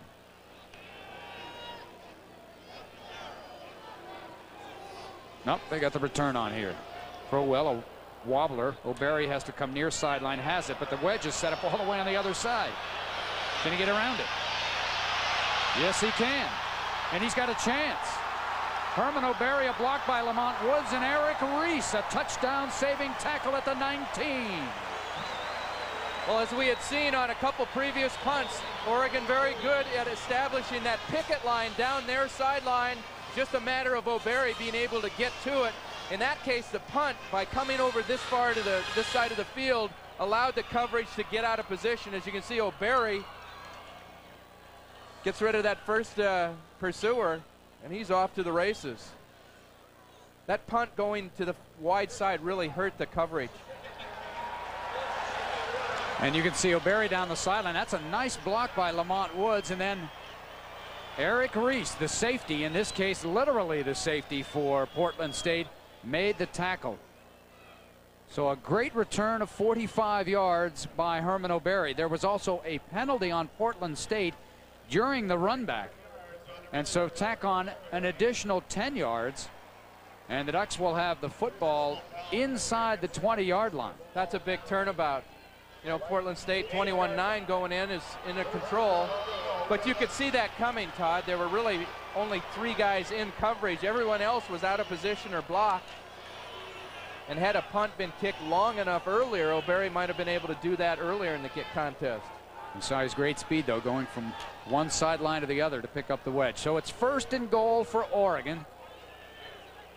The ball marked at the nine yard line. O'Neil already has two touchdown passes this afternoon, one to McLemore and one to Josh Wilcox.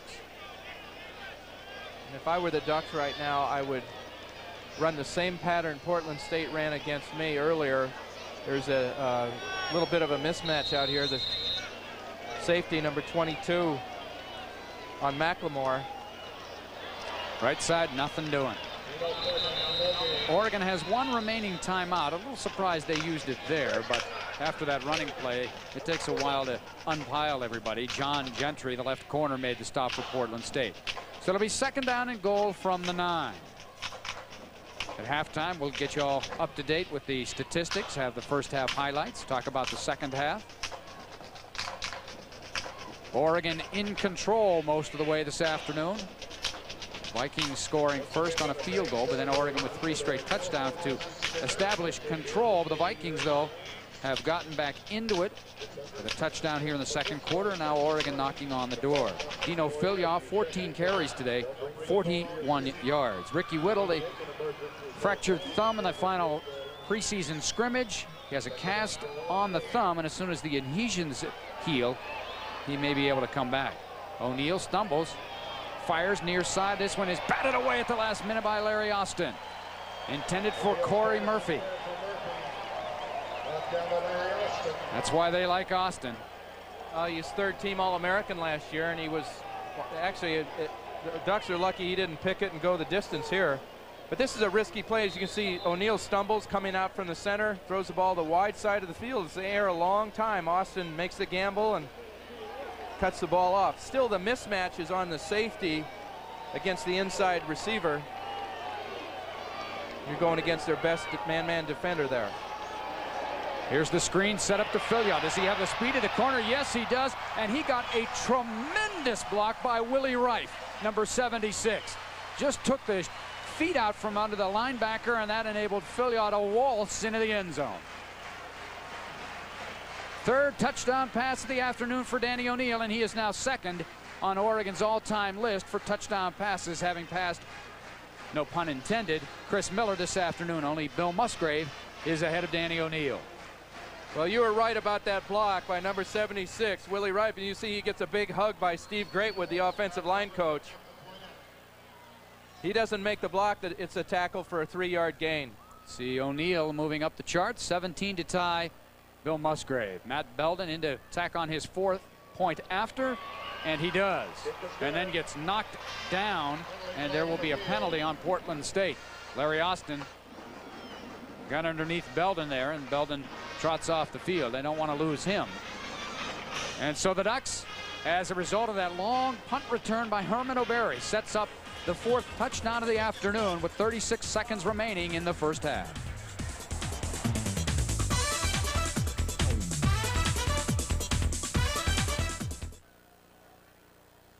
Folks, if you watch on the left side of your screen here, the pride of Springfield High School, Willie Rife, is going to throw a textbook block that allows this pass completion to come into a touchdown right there. A great block by the sophomore, Willie Rife. From Springfield, but Thurston High School. I know the Colts and their fans would like me to well, make I, that I meant the, the pride of Springfield right. metropolitan area. There you go. Belden with a split kick. Dribbles itself and is dangerously booted around and then fallen upon by Portland State at the eight-yard line. Well, let's take a look at the scoring drive for the Ducks, set up by that 45-yard punt return by Herman O'Berry. Three plays. Dino Philyaw gets credit for the six points. Let's give three of those points to Willie Rife, though. What do you think? Yeah, well, That'd it's, only be fair. it's great to see an offensive lineman clearly throw a block out where everyone can see it. Oftentimes the work they do is inside what they call the pit, you know, the trenches. They don't get a lot of notoriety. That was a great block. So the Vikings here with four, 34 seconds remaining. They do have one timeout left, but they'll be conservative here. Keep it on the ground. That's Steve Pappen. He's met right at the line of scrimmage by Reggie Jordan, Jeremy Asher. And the Vikings probably will be content to run out the clock. The Ducks not so content. They'll call timeout. 22 seconds remaining. Oregon leading 28 to 9. The season opener for the Ducks. Next week it's on to Hawaii to take on the Rainbows who opened this week against BYU and then back home for two more non-conference home games against Utah and Iowa. Very interesting matchups. Utah, mm -hmm. considered a real force in the WAC conference, uh, gained a lot of respectability the last couple years going to consecutive bowl games, played very well against USC when USC was playing very well at the end of the year. And Iowa, somewhat of a uh, disappointment last year. They tailed off and were thrashed by California in the Alamo Bowl, but someone say, says that uh, Hayden Fry, the coach there, is under some heat. You know, teams tend to play a little better when their head man's under some heat. That's hard to imagine. All he's done is taken them to three Rose Bowls. Had a winning season just about every year. Been to a bowl game just about every year.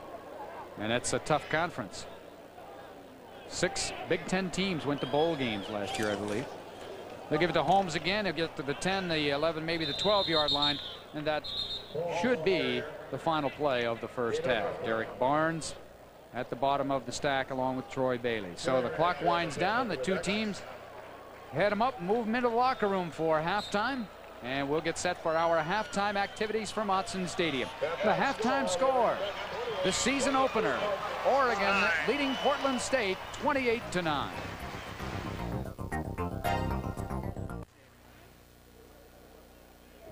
All right, ready for the start of the second half. Oregon on top 28 to 9. They will receive to start the second half.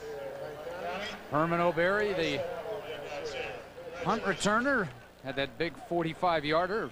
One of the deep men for Oregon. The other one is Patrick Johnson. Jeff Crowell will boot it away for Portland State. The wind kicked up considerably during the halftime. The clouds remain here at Autzen. We started today's game in bright sunshine, but the clouds have moved in. We had rain today for the first time, must be two months. So that means football is in the air. Crowell to boot it away. It's a good long one. This one go to Patrick Johnson over his head and through for the touchback.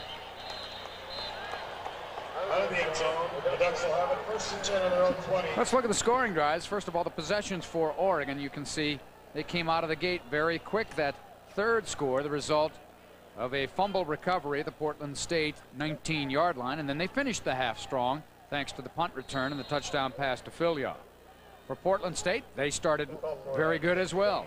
Touch, uh, field goal on the opening possession, and then sputtered a bit before finally putting together that 56-yard touchdown drive.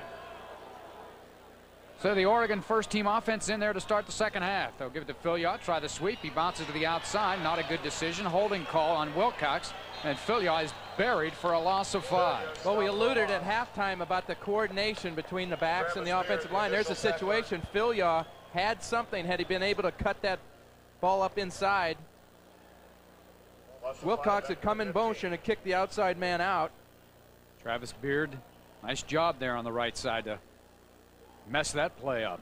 But as you can see, you'd, you'd like Philyaw to cut inside Wilcox's block there. There's no way you're going to beat him outside. And then plenty of help from his mates. And it looked like Eric Reed had been pulling too, and there was something. But that's something that's going to have to be worked out. You know, we talk about uh, the rushing attack over the years. So one thing about Oregon so far in the first half is they have called the 21 running plays, and there have been times they've not run that many in a game. This is Blake Spence in motion, redshirt freshman tight end. They'll give it to Philyaw. Now he cuts it up there with good hard running this time, gains seven. And so the Ducks will be faced with third down and eight. Once again, Travis Beard. Boy, he has been in on a lot of plays. They say he's a big play kind of a guy. Had a severe knee injury and has rehabilitated that and is playing well this afternoon. Back in for Portland State comes Akaba Delaney, number 99. He'll be the anchor in the middle, and the man we talked about, Beard, will uh, come out in this passing, probable passing situation. Spence again goes in motion. O'Neil looking for the screen back. Great play by Eric Reese, the safety. Oh, he slipped inside there, and we have a late flag thrown as well. But boy, what a great play by Eric Reese. He smelled out the screen all the way.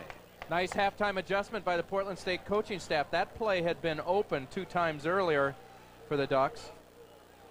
Personal foul against Portland State will wipe away that fine defensive play.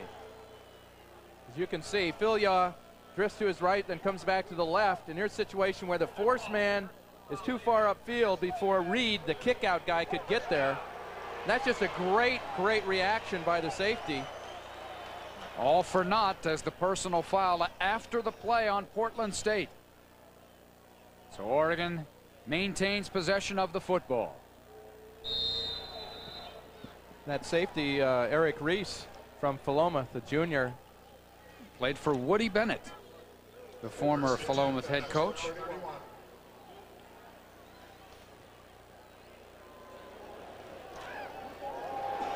O'Neil in the pocket. McLemore incomplete. Good pressure this time as once again it's Brian Stromberg applying the heat, putting a good lick on O'Neil. You, you know, O'Neil, sorry, Ken, excuse me, I do want to mention O'Neill. For all that has been said about him statistically, the one statistic that might be as important as anybody else or anything else is that he has started the last 24 games. Oh, he's, he's been very durable after a period of which you never knew who was going to play quarterback for the Ducks. One thing is, we're not going to be able to see it, but O'Neil did a nice job of stepping up there. Years past, we've seen him get a little bit confused and start running around. That's an area of the game that he has really improved on. Seeing total yards right up there. O'Neil again eludes pressure. He needs to get down, and he's belted down after a gain of seven. O'Neil scrambling out of the pocket, but he took a big hit over there by Ken Harrison. Well, up front right now, the Ducks don't look too impressive. They're uh, tried a couple running plays, nothing there. The pass protection, they've been doing some play action things here. O'Neil's been running for his life. Good, good outside pressure there, and O'Neil showing what athlete he is. Wow, Ken Harrison, young man from Walla Walla Community College, got a big hit. Quick out pattern to Murphy. Did he catch it? Did he get his hands underneath? They say yes, and he has the first down. The Portland State coaching staff trying to lobby for the incompletion, but to no avail. And Murphy, a good job of getting down and catching that one. Have you noticed those coaching uh, shirts that the Portland State uh, coaches have? Half Yes, of them, half of them looks like referees. You know, the left side of their shirt is vertical stripes. The right sleeve. I like those though. Nice. I like that. I think it's an optometrist nightmare. Obviously, only half the design got to the factory. There's some power running inside by Dino Philyaw. The Ducks try to soften up the belly there. Eric Reese along with Marcus Royster for Portland State. Marcus Royster's twin brother, Mazio Royster, played for USC. And then with the Tampa Bay Buccaneers in the NFL. Dino hit it up inside real nice there. Five yards, good surge by the interior of the line. Frankly, I have felt there have been some times when had he been more inclined to turn it inside, there have been some seams there. Philyaw now the cutback, trying to get the Jets going. And he puts his head down a little bit short of the first down and a late flag. Two flags down on the play. Larry Austin and Eric Reese converged to double team on Philyaw. The opening possession of the third quarter. Yards. Face mask end of the run. infraction against Portland State, and that will give Oregon a first down. Oregon leading 28 to 9. O'Neil pass. Reads the defense out to Philyaw on the flat. 35-30. Breaks a tackle. 25 down to the 22-yard line. Good effort by Dino Philyaw. Just a little swing pattern, and Philyaw doing it on his own. Nice job by O'Neil there of waiting for Philyaw to clear the defender. That's a play earlier they had attempted, and Philyaw had dropped the ball. Quick little way of getting the ball outside. Nice, nice touch on the football too. Very nice. O'Neil playing with so much confidence. And Philyaw still learning. Uh, you have to remember that he did not play a whole lot at Taft Junior College and didn't play that much last year. And you can see Rick Anderson finally had to make the tackle. John Gentry, number 23, was faked out completely on that play. O'Neil over the middle and he overthrows Josh Wilcox. Vernon Mitchell, one of those in the coverage for Portland State, along with Sammy Burrows. They like Sammy Burrows, a former safety, and he comes in with pretty good credentials, having been recruited by the likes of California and also Arizona State. So a good athlete, a transfer from Mount San Antonio Junior College. Second down and 10 for Oregon. Go back to the eye. This is Kenny Wheaton to the outside. And whoa, great play over there by Burrows. And now you can see why they like him. Not only took on the blocker, but made the stop. One thing about young running backs uh, who have great speed, they have a tendency to rely on that speed and oftentimes take the ball outside when they should try to head it up inside. Again, another situation, they may not go for a touchdown turning it inside, but they're getting caught running sideways. So Wheaton stays in. Dwayne Jones, the fullback. Split near side, Murphy and McLemore. Here's O'Neil. Nobody open. Now he'll scramble. And he'll just take it out of bounds and get as much as he can. Good play by O'Neil. He'll gain about five yards, and that'll set up a field goal attempt. And an opportunity here for Matt Belden in a game situation to try a field goal. He's been perfect on extra points today. I- I give Portland State's defense a lot of credit right now. They've given up a couple of plays so far, but they're jamming up the, the line of scrimmage. They put pretty good pressure on O'Neil and kept him contained. I think that had he been able to stop there and set his feet, he had a, a receiver back inside, but a lot easier to see from up here. Ryan Perry Smith will be the holder. Matt Belden to attempt the field goal. Snapper is Rob Williams. Pretty good snap and hold penalty flag. The kick is up and the kick is through, but let's await the penalty flag. And now they're going to wave it off. So that's a field goal for Matt Belden, his first. He's happy about that, and why not? He gets three more points for the Ducks. They extend their lead 31 9.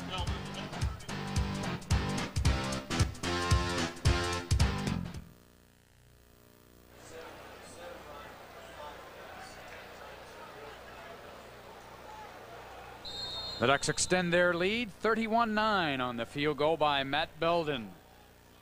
So Belden now to kick it away. This will be Larry Austin at the eight. Tries the outside. It's foot race now 30 out near the 35 yard line. So good return by Larry Austin. And the Vikings will set up shop. 26 yard return by Austin. He's a good athlete. They're gonna we're gonna see a lot of uh, Larry Austin for Portland State this year. He's been very impressive, not only in the special teams area, but also as a cornerback this afternoon. Kyle Allen back in at quarterback for the Vikings at the 34 yard line. First half, Allen was 11 of 19 for 101 yards and one touchdown. Comes the out pattern. Hunden throwing a little bit behind him, and Molden was able to get there in time to help break it up. Molden has looked very sharp today on every play except uh, the touchdown, where it looked like there was some miscommunication on the coverage. You said he's he has come a long way to be here today. Uh, rehabilitation from a couple of, uh, you know, for a cornerback to hurt his knee as seriously as he did, that's remarkable that he's out here playing as well and as quick, quickly as he has.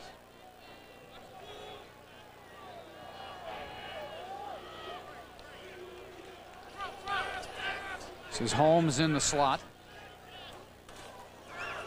There's some movement. Holmes with a reception. He breaks the tackle of Asher and is bumped out of bounds. It would be a first down, but I think the Vikings got started a little bit early there.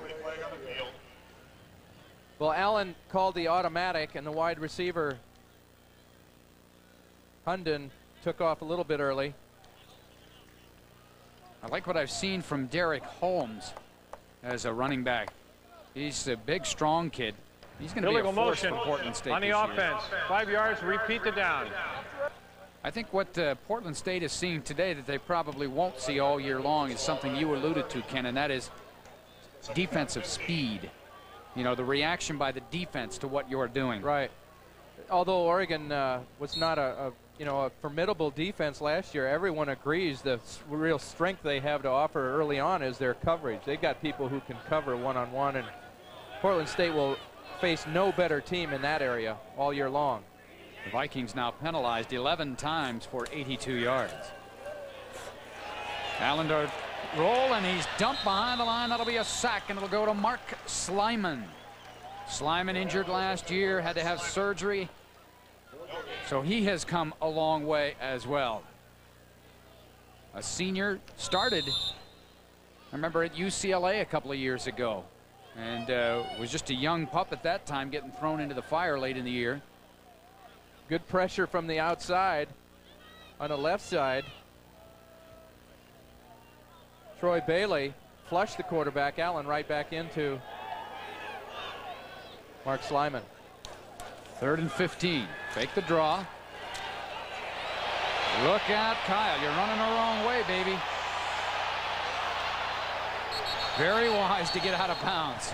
That'll go as a sack by Bryant Jackson. Lost 17 yards. So Bryant Jackson gets his sack. Big old nose guard, 6'1", 280. Well, he got a real close up front personal look of Derek Barnes, who chased him face mask and face mask for about 30 yards there. But that's so hard, you know, you have your hands up trying to keep him from catch, throwing the ball and then tackle him at the same time. And the worst thing about that sack for Bryant is it came all the way on the other side of the field. Well, let's see what the punt return can do. The Ducks have had good luck setting up the sideline return so far. Looks like they got the return on here. Spiral, O'Berry at the 46 yard line. A lot of dancing. Holds onto the ball, gets to the 40.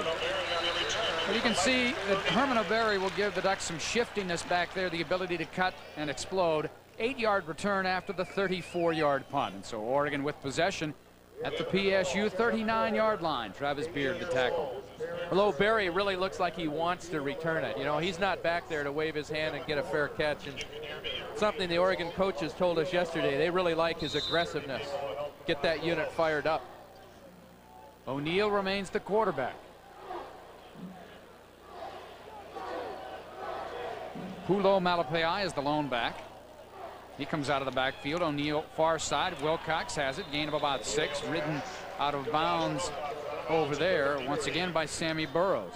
Called his name three or four times here just in the third quarter. Well, and here's the situation now. It's a, a short yardage situation where the Ducks look for play action possibly here. O'Neil right on the money. Good catch by Wilcox. I Yeah. think I think the Ducks are in pretty good shape at tight end this year. Yeah, they have uh, several good quality young tight ends. Wilcox, Matt Reinhardt injured, a redshirt freshman, Blake Spence, good hands. Out of the backfield, penalty flag, two of them. Marcel Stewart took his eyes off the football, getting his first Division One experience. Young six-foot junior from Diablo Valley Junior College. Last year, he ran for 900 Setting foul. yards in a one-back offense. Offense. So the featured Offside. back there. And had a couple of big games, Repeat 172 yards versus West Valley, and then 189 yards and two touchdowns against the College of Sequoias. But today, he's getting his first Division One opportunity. Initially recruited by San Jose State. As you can see, Coach Brooks there a little bit disappointed with a holding call. You know, the offensive linemen are allowed to use their hands uh, to push, to punch, that kind of thing. Every once in a while, as those defensive linemen, you know, crisscross and so on, it's very easy to get a hook on them. Well, they've waved off the penalty flag. That was nice of them. Yes. Ron Richmond are oh, offsetting penalties, excuse me. So now they give it on the draw to Stewart. Nice hole there, and he has the first down to the 24-yard line.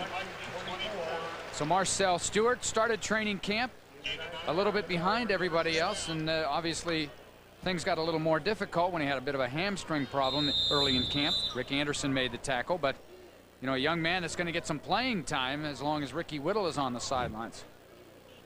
Let's take a look at Steve Harden, the big 324-pound All-American candidate. Considered one of the premier offensive tackles in college football there. He was His job was to seal the inside gap, and he did do just that. It's a lot easier to do at 300 pounds. Here's the counter play. Get up the field, Stewart. He does. Puts his head forward, and now the Oregon offensive line beginning to take control of the line of scrimmage. Talking with Gary Campbell yesterday about Stewart. Stewart pulled his hamstring the first day of practice in a warm-up drill designed to stretch out the hamstring. I just stretched it too far. Marcus Royster and Jason Nye, the stop for Portland State. Now he'll come out of the ball game. I predict a, a, a fine career for Marcel as long as he can get past warm-ups. Kenny Wheaton back in at tailback. O'Neil to throw. Wheaton through his hands. Well, I think as And oh, Willie Reif and Jeff Bockert have words, and Bockert with a shove to Reif, who walks away. Wheaton's arm shrunk a little bit as the ball led him inside towards those two inside linebackers. Yeah, he got the alligator arms. Yeah, and, and you know, it's a long season. It's 12 games. You got to live. He may want to go back to defense where they do the hitting. Ducks one for three in third down conversions so far this half. There's Wheaton trying to find a seam. He's got the first down on third and one. Well, that's something right there, third and one. And I know the Portland State's defense maybe not as big and physical as uh, some of the other teams Oregon will face, but on third and one, you need to be able to run the ball to get the first down, and they did. Yeah, that's right. You need to know that you're going to do it.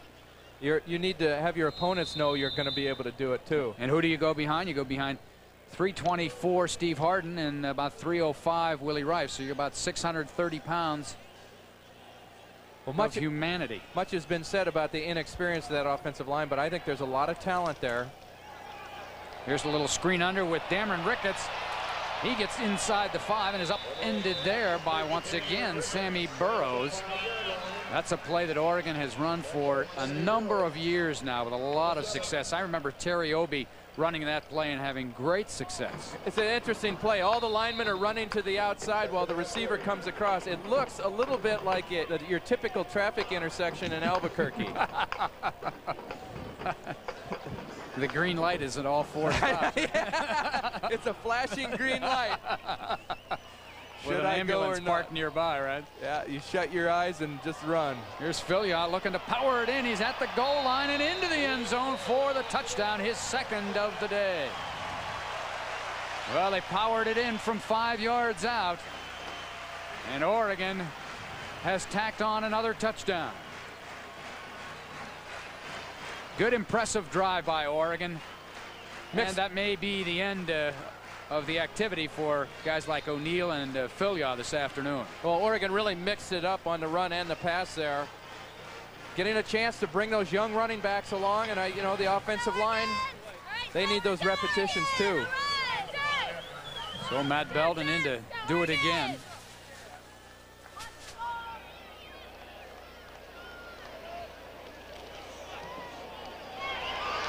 And he does.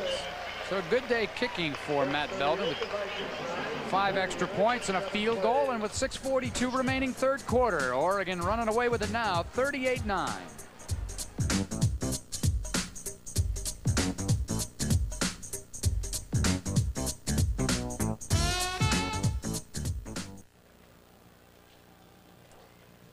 Well, the Ducks have now scored here in the third quarter on two possessions, a field goal and also a touchdown, and have extended this lead to 29 points. Well, big day for Matt Belden. He's gotten his first action at the Division One level, a true freshman.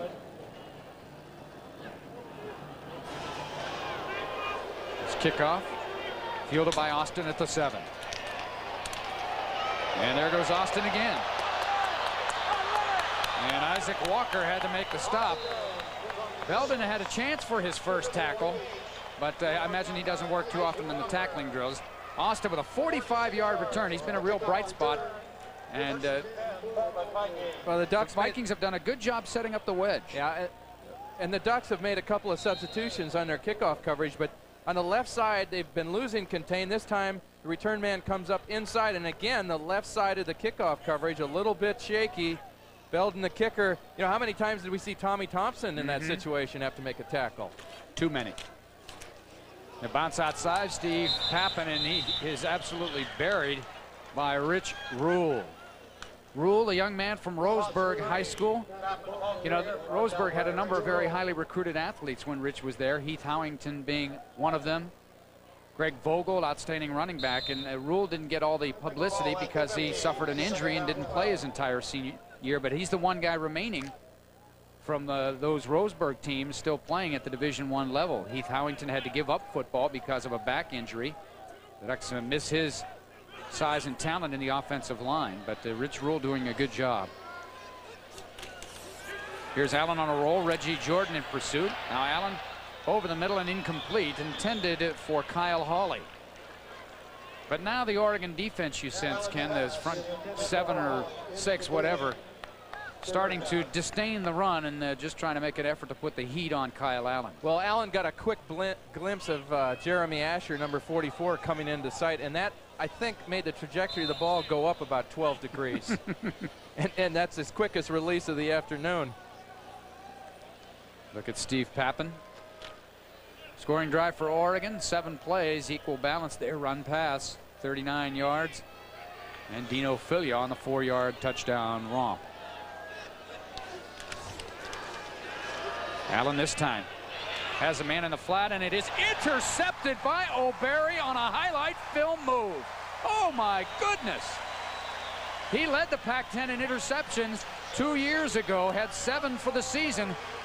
Man alive, I'll tell you what, that was something else. That was a one-handed grab, and Portland State should be very happy that it happened on the sideline because nobody was there to stop him.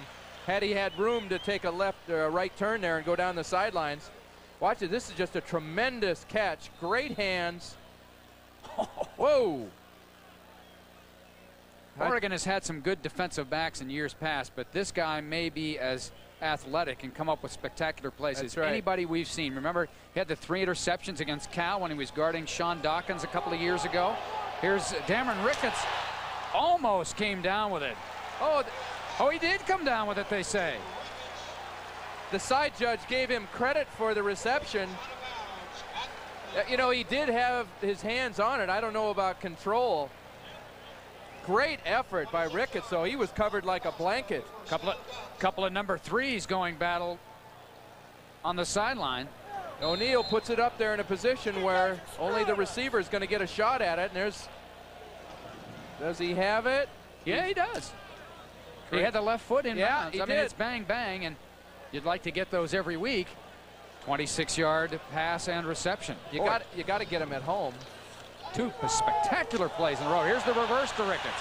He's got one man to beat. Good play by Ted Leach to hang in there.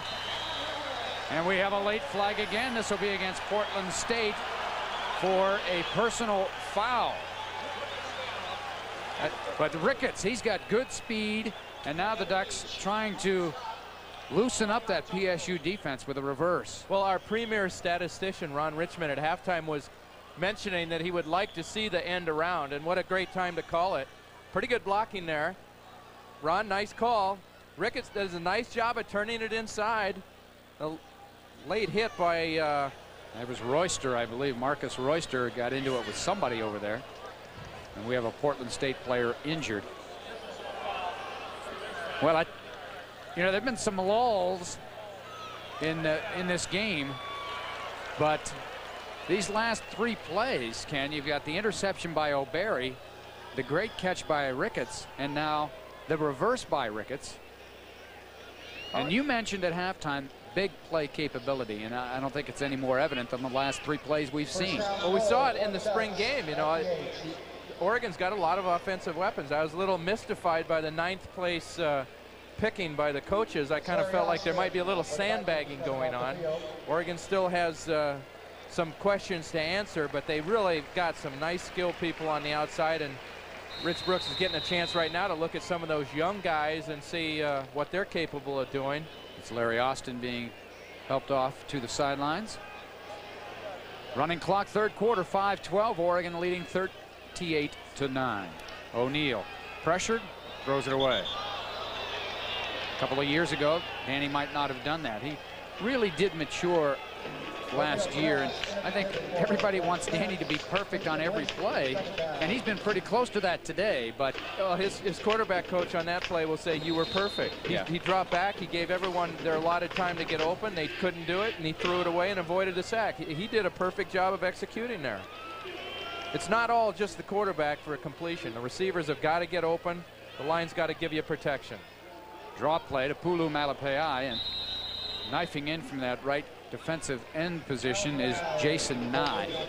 They want him, and I'm talking about Nye on that play, just to run past the ball carrier. You don't even block him and hope he just runs right by your ball carrier and you go around him for the touchdown. But he uh, got a hand in there, tripped him up. Dino Philyaw back into the ball game. Pulo Malapai will come out. Third down for Oregon and goal at the eight yard line. Ducks two for four this half in third down conversions. Patrick Johnson in the ball game now as a wide receiver as trips set to the left.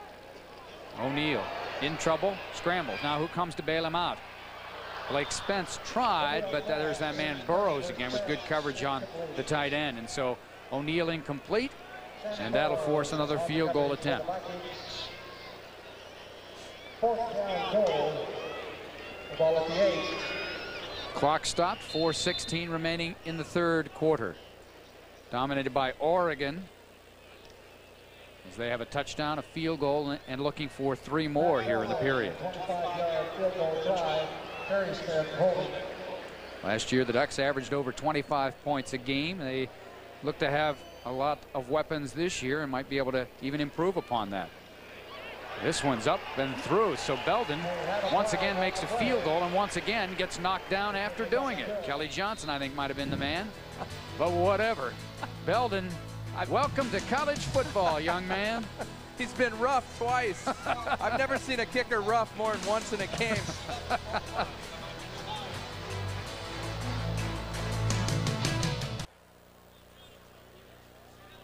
Well, uh, we can wipe the points off the board there, so it's now 38 to 9, or still 38 to 9. The roughing the kicker penalty gives Oregon a first down. The Ducks accept the penalty, take the points off the board. We take it off the screen as well, and it's first and goal now from the four. O'Neil looking for his fourth touchdown pass, and he has got it. The second time to Josh Wilcox.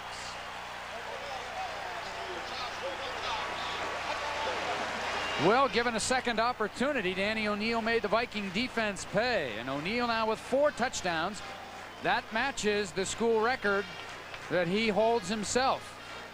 There have only been a handful, a couple of uh, quarterbacks that have thrown for four touchdowns in a game, and Danny O'Neil has done it several times now. Well, Portland State has only themselves to blame. Lately, they've had several penalties, uh, kept the Ducks in it. I mean, you know, people talk about the disadvantages of junior college players. Oftentimes, uh, discipline comes into there, and right now, Portland State is not demonstrating a lot of discipline on the football field, particularly on defense. Here's the extra point, so Belden has the field goal wiped away. Uh, nice to see a freshman kicker uh, take a penalty for the team. That's know? right. You got to take one for the team. And I'm sure he's real happy that yeah. on that extra point he didn't get rough. Yeah, that's for sure. Well, Danny O'Neil's had a great afternoon. Great start to the season for Danny O'Neil. I'll tell you another one. Uh, there's a group of people who look at that scoreboard and smile very noticeably. Uh, talking to several administrators this week, the rivalry between Portland State and Oregon goes beyond the football field. You know, we mentioned administration, fundraising, uh, corporate support, and so on. The Ducks feel like they compete very strongly with Portland State in that area for that uh, kind of support. The fact that Portland State people have said, hey, we're, our program's as good as yours, we can compete with you, has been a real source of uh, irritation to those people. O'Neil's four touchdown passes, uh, if you are wanting to note, ties the Autzen Stadium record as well. Four touchdowns thrown by a couple of others. Let's take a look at number four here to Josh Wilcox. You know, the Oregon is really, really likes to look at the tight end in that scoring red zone, they call it. And uh, Wilcox taking over for Willie Tate in that area. Anyway, the other guys that have thrown for four touchdown passes here at Autzen, Jeff Van Raaphorst, you remember him from Arizona State? Dan Fouts versus Idaho in 1970, and Tom Blanchard, another ex-Duck versus the Vandals in 1969. Belden's kick fielded by Holmes, and he just does stay in bounds. And he gets out to the 24-yard line.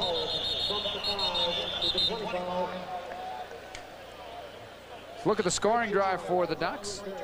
Aided by the roughing the kicker penalty, six plays. A touchdown pass to Josh Wilcox, his second touchdown reception of the afternoon. Well, then the late hit after the completion to the right side hurt them as well.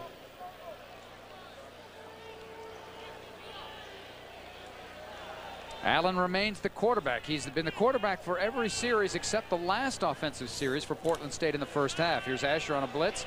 Allen breaks contain. 30, 35, 38 yard line. That's a first down. Alex Molden tripped him up. And I was just going to say, looked like an injured player down there, and I think it might be one of the Portland State receivers. Kyle Allen, you see, will step up. Asher on the outside is rushing, is kicked out by the back. And Allen doing what uh, we were told before the game that he does so well. Gets a big first down. It looks like James Hunden. Someone fell on the back of his legs. See a lot of those kinds of situations uh, end up in knee injuries. You know, people fall on the back of your legs. You know, Portland State has to have, and I guess any college program, you have to have connections in recruiting. You have to know people that know people. You know all about that. But, you know, how do certain players get to certain schools? James Hunden played at the San Francisco City College, and the offensive coordinator there happened to be Tim Walsh's college roommate. So, you know, you give this guy a call because you have a player that wants to go to a Division two school, and that's how Hunden arrived at Portland State. Let's hope that it's not a serious injury.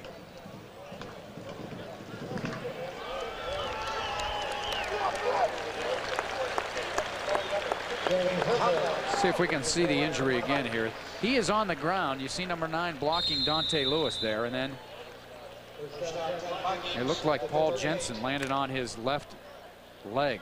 Well, he made the uh, cardinal mistake for a receiver. He was trying to block on the play, and that's, you know, receivers will tell you that uh, blocking is really not what they want to do, and that's probably one of the reasons why right there.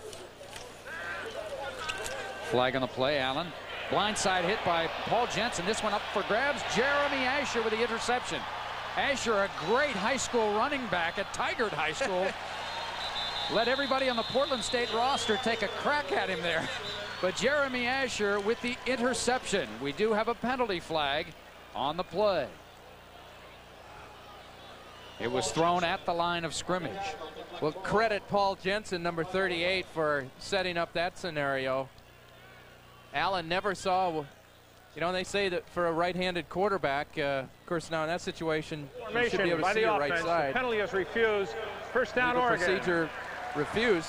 But anytime you get a quarterback in the blind side like this, a fumble or, in this case, a deflected pass, watch Jensen just hit him like a runaway truck. Pow! I've seen a lot of linebackers drop that ball. And you know, Asher's trying to get to that wall. Which wall? The sideline wall or his teammates? Graziani back in at quarterback for Oregon as they take over at the 42-yard line. Go back to Kenny Wheaton. He cuts back into the middle. A good line surge gets him about three. And now, now one senses, just looking at some of the extracurricular activity going on after plays, an immense amount of frustration. There's a lot of yakking and talking now that we didn't see in the first quarter. Jeff Buckert right there getting into it a bit with Dwayne Jones. Yeah, and, uh, you know, things are going against them. We, we identified on the last uh, series the Portland State defense is losing a little bit of its cohesiveness and discipline. And you know, watch this. Uh, this is the kind of stuff that happens after the game. Uh, looks like he's trying to break off the face mask. Graziani scurries out of bounds right at about the line of scrimmage. That's a great job on the replay there. Yeah, A lot of times. good uh, camera work. well, it was such a good replay. We wanted to miss that uh, three-yard gain. Third down and seven now for Oregon. Two and a half minutes remaining in a prolonged third quarter. But I don't think Bachworth was saying, hey, nice run on that play.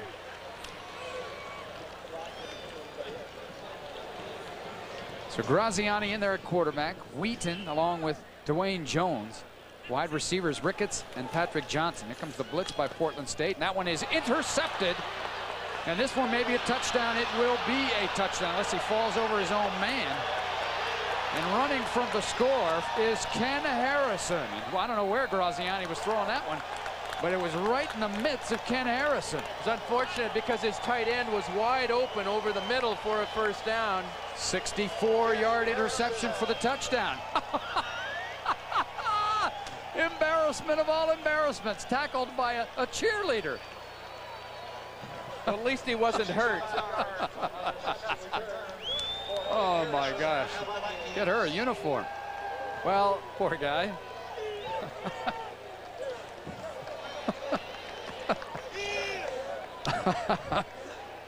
well, one of life's great moments, spoiled by one of life's embarrassing moments. well, it's an embarrassment of two different kinds there as you see Graziani getting the word from Coach Brooks and Mike Bellotti.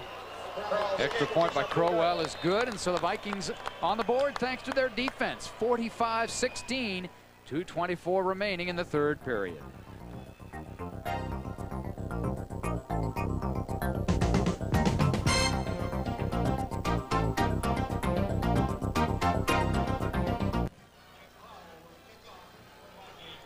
Big moment for Ken Harrison, the transfer from Walla Walla Community College. Interception pick, 64 yards for the touchdown. The Vikings get their second six-pointer of the afternoon. Graziani had just decided who he was going to throw to beforehand. He threw it to a covered outside receiver, and you can see that once he released it, uh, he never saw the rest of it, which is probably good because it was touchdown the other way. Crowell, another booming kick. This will go through the end zone. Well, they think at Portland State that they are an improved team in the kicking area this year. They feel they have better athletes for coverage, better athletes to do a number of things, but they also believe that with Jeff Crowell, they've got a guy that can handle both the punting and the kicking, and they will not drop off in that area at all. Well, the score is a little bit out of hand right now, but you know, you look at uh, the punting game has really hurt Portland State early in the game. Ducks good field position. It's been more of a case of Portland State unable to cover the big play players of the Ducks. Marcel Stewart with the handoff from Graziani. So now we're going to see the reserves for Oregon in this situation. Rick Anderson, the stop for Portland State.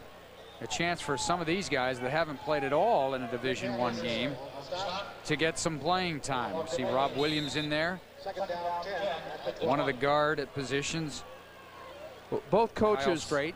Both coaches right now are struggling to have their players maintain focus on the game. There's a lot of pushing and discussion after every. Uh, this is what's you know these these two schools are two hours apart, and a lot of people know each other and have probably given each other a hard time about this game for a long time. Well, let's go back to why this game was scheduled as we see the penalty flag there. This game was scheduled initially because Oregon got a 12th game opportunity by going to Hawaii. So they could play a 12th game. Meanwhile, Portland State is having tremendous success at the Division two level. And Pokey Allen, then the coach at Portland State, you know, it really had the folks in the, the Portland area excited about his program. And there was talk at the time, whether it was boosters or whatever, people in the media. Hey, you know, Portland State's pretty good. Uh, you know, maybe they can uh, go down there and beat Oregon. Remember Oregon in 1991 uh, had that horrible year. And so they scheduled the game. Portland State gets a guarantee of 75,000. Blake Spence on the reception. He turns it upfield and he can run. This guy is a big, strong, fast tight end, and he's got a first down before knocked out of bounds by Portland State's Neil Fendall. So Blake Spence, Josh Wilcox, Matt Reinhart, when he is back in action, give Oregon a good trio at the tight end position. Gain of 28 yards. 16 for 24, Danny O'Neil one out of four completions a touchdown. That's that's pretty. That's going to help passing efficiency. See, Danny O'Neil has the number of 300 yard or four uh, touchdown pass games as all the other Oregon quarterbacks combined. Pretty impressive company. First down it comes to Marcel Stewart. Left side, 45-40, 38-yard line. Once again, it's Neil Fendall making the tackle for Portland State. Well, getting back to that, uh, how the game came about, you know, Pokey, uh, in building his program, did a lot of face-to-face uh, work with the corporate world. And, you know, frankly, Portland State at that stage really depended on that. They oh, don't yeah. get a Rose Bowl share like the Ducks do and a lot of the other television revenues and so on. So it's, it's been interesting to hear of the kind of bitter rivalry over the corporate dollar. Mm-hmm. Graziani to throw. Has time, throws deep. He's got a man, Patrick Johnson, and he can't quite get do it. Pass interference on Portland State. Fendall got turned around a little bit as Patrick Johnson tried to come back for the ball. Patrick Johnson will give Oregon a deep threat. After all, when you run under 21 seconds for the 200 and 10-3 in the 100, you get people's attention. Well, it was interesting that he slowed down a little bit, and then the ball was in the air. He kind of took off again, and he caught the uh, defender, number six, Neil Fendall, by surprise. I'll tell you, nothing can make up for speed. Nice job by Graziani of stepping up. He knows he's going to get hit, puts the ball out there. And that interference, that bumping there definitely hindered him from a chance of catching a touchdown pass. Good play, though. I mean, in college football, you're going to give up 15 yards. If he doesn't bump him, he gives up six points. Patrick Johnson from Redlands, California. Here's the handoff once again to Marcel Stewart. And it's Fendall making the stop at the 20-yard line, gain of four. Patrick Johnson, the speedster out of Redlands. The coaches describe him, and you know, a lot of guys that run 10-3 are track guys that they converted to football players, but Mike Bellotti believes that Patrick Johnson is a football player who just happens to run 10-3. And Damon Griffin, the other freshman wide receiver that uh, we may see at some point in the season from Monrovia, California, also a league sprint champion. So the Ducks trying to recruit speed at the wide receiver position. Well, I, I think their their attitude, the coaches, is that although we do have uh, these, you know, these older receivers who have proven track records, we've got some young guys in a position to play and do some uh, things right away. So we're not gonna we're not gonna keep them in storage all along. And it's nice they get a, situ a situation here where they can get in some good game action. Well, big third quarter here for the Ducks. 38 seconds remaining. They're knocking on the door once again. Let's take a look back and you see Oregon got the field goal by Matt Belden to make it 31 to 9 after leading at the half by 28 to 9. Then Dino Philyaw powered in from four yards out, made it 38 to 9. Then the Ducks had a field goal. They took it away and decided to continue the drive after the penalty, and so they got Danny O'Neil's fourth touchdown pass of the afternoon, second to Josh Wilcox, and then Ken Harrison for Portland State, the 64-yard 65-yard interception return for the touch. Here comes the screen set up to Stewart. Oh, well defended. Oh, very, very well defended. And we may have two injured players. That might have been Harrison again over there. He might be hurt. Wow, that was a violent collision. You know, the Ducks can have 23 first downs today. Portland State only seven, but seven of Oregon's first down have resulted from Portland State penalties. Yeah, that, as we say, the, the discipline factor has really been noticeable, particularly in the second half. Nice play by Ken Harrison. Just scored a touchdown and was leveled by a cheerleader. I think this hit was uh, retribution. retribution. well, I hope the last hit hurt more than the one on the cheerleader. End of three here at Autzen Stadium. The Ducks well on their way to an opening season victory.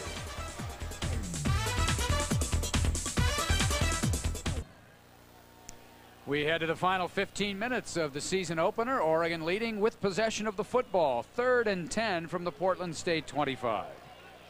Comes the blitz by the Vikings. Graziani hangs in there for as long as he can. Finds Blake Spence. Spence as is Oregon's tradition of tight ends, tough to bring down inside the 10 to the 7-yard line. Give Dwayne Jones, number 34, a pat in the back there as he picked up the blitz and allowed Graziani a chance to deliver the football. Blake Spence, very impressive as a receiver. Blake Spence, 6'3", 230 redshirt freshman from San Juan Capistrano. Capistrano. See number 49, Jason Nye, helping on the stop there. So it's first and goal for Oregon. This has got to be a confidence boosting drive for Tony Graziani. They're going to run the option. Kenny Wheaton, his only option is to cut it upfield. Not much there. Well defended by Eric Reese, number 22. Portland State, 14 penalties, 106 yards. But of those 14 penalties, six personal fouls. Yeah, and, and several of them after the, the play was decided. And a couple of them gave Oregon first downs that continued drives. Oregon, meanwhile, with three. Is that uh, personal fouls or three total penalties? Three total penalties for only 22 yards. That's pretty good in a first game. First game, you expect things to be a little ragged, and Oregon has been good in that department. Well, especially with a lot of inexperience in the offensive line. Graziani Waiting, waiting, waiting, throwing. Almost intercepted for a touchdown. Wow. Breaking on that was Sam Peoples. And if Peoples had been in camp all fall, that might have yeah. been an interception. Well, had he been able to secure the football, there were no cheerleaders between him and the goal line. and that was six points. Sam Peoples, uh, they really like their three corners with Austin, Gentry, and Peoples. They all have experience. They've all started at one time or another. Very solid area for Portland State. I'll, I'll, tell you, when you throw the ball the wide side of the field like that, he threw it late, and uh, you don't want to have to experience that too many times to learn it. Jailbreak. Graziani should have thrown it away. That's inexperience there. Jeff Buckert got the sack from the inside linebacker spot. So Graziani getting his taste under fire. And good for Oregon in that they're going to win this game, and he can take a few lumps and learn in the process, but it has not been uh, Tony's dream day. But it's a great learning experience. So Belden in to attempt another field goal. Oh. This one will be spotted at the 27. Well, see, O'Neil won't even let Graziani have his hat. He's wearing both of them there. So it Looks like, uh, you know, uh, Sherlock Holmes there. That's right, All he needs is the pipe and the magnifying glass. if you don't hit 50%, you don't get your hat. well, unfortunately, it gives O'Neil the Elmer Fudd look, you know. Oregon with a timeout, a little indecisive in alignment on the field goal attempt. 13.08 remaining in the ball game. Let's update some of Danny O'Neil's career statistics. These are through today's game. And O'Neil closing in on Chris Miller for number two on the all-time Oregon list. And he's got a chance, if he has the kind of a season he had a year ago, particularly with 12 regular season games, to surpass Bill Musgrave's total of 83-43. there are there are literally no passing records that are, uh, you know, outside of his reach this year. Yeah. You say, well, At he's, touchdown, total touchdowns, Yeah. uh, total yardage, total passing yardage, he's only 3,000 yards behind. That's a, that's a, and with an extra regular season game. Yeah. I mean, he threw for over 3,000 last year.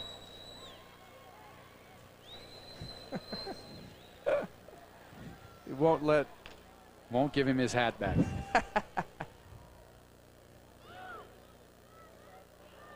so Belden to attempt a 37-yard field goal. Ryan Perry Smith, the holder. Perry Smith, by the way, is the third quarterback on the Oregon roster. Smith holding.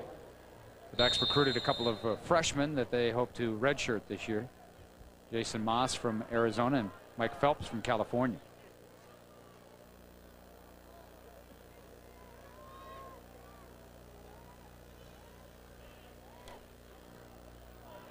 Belden's got the leg, but this one drifted wide Wide right. right.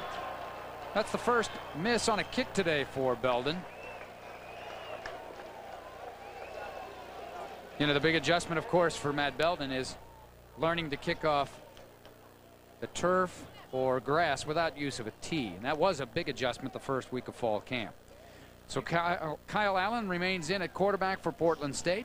And now they'll run that counter play. Derek Holmes slips and slides and gets about 10 yards. Boy, he had a gaping hole there. That's the first time the Vikings have actually handed the ball off on that play. They've faked that a couple of times.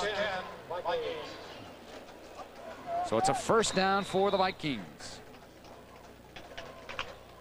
They have most of their first teamers still in the ball game at the skilled positions, except for James Hunden. He is out of the ball game. Notice Matt James not in there too right now. Hawley and Croston the wide receivers. Allen the out pattern. Holmes. He has about six yards. Defensively for Oregon, a lot of the second liners in there right now, and a chance for some of these guys to get playing time. They haven't played a whole lot. Notice that uh, Rich Ruhl stays in there in the middle to kind of solidify things, but around him a host of new players. Notice Derek Allen from Vancouver, Washington, one outside linebacker position. DJ Cabrera in there. Jeff Branson in the middle, one of the linebackers from University High School in Spokane. Here's Steve Pappen, and he gets a first down to the 42-yard line. That was Branson who made the tackle, but not before the first down. Gain of seven. In the secondary, once again, a lot of young, young people in there, some of which have experience because of the injuries last year. Isaac Walker at a corner, Lamont Woods at a corner, Brian Collins at a safety along with Dante Lewis. Oregon secondary very deep this year. 11 lettermen in that secondary. They have about six, seven guys, seven or eight guys that have started games. Uh, That's right. Even even when they get down to their third unit, they've got guys who have played Yeah. in, in critical situations over the years. So timeout for Portland State. Kyle Allen comes over to talk to Coach Tim Walsh. Well, the rain held off this afternoon. We had some this morning, and at times it was rather hard, but right now, not bad at all. Vikings with a first and 10 at their own 42-yard line.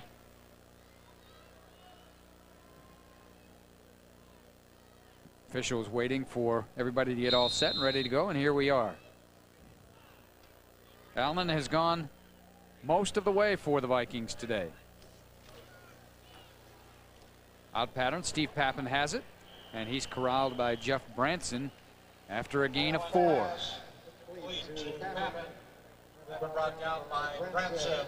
Well, can you look at this game, and uh, now with the outcome pretty much decided, Oregon with its second team defense in there right now. If you're Portland State, what do you take out of this game that you can use to build for next week when you travel once again, this time to Angelo State? Two things killed them. One is that uh, touchdown they gave up, punt return, set it up uh, right before half, and then all the penalties. Other than that, Portland State has played quite well, and the game could have been a lot closer. Not sure they have the manpower to, to win the game, but you know, they're competing right now. They're competing well against Oregon. No one's, uh, you know, flicking it in and hauling into the barn. And there's some good football players out there. As I say, the, the most glaring thing to me in the second half is the lack of discipline on defense. And that just seems to be kind of an emotional thing, not necessarily a lack of talent. Gitsom took a big hit there from Brian Collins. Uh, update you on some of the players that left because of injury.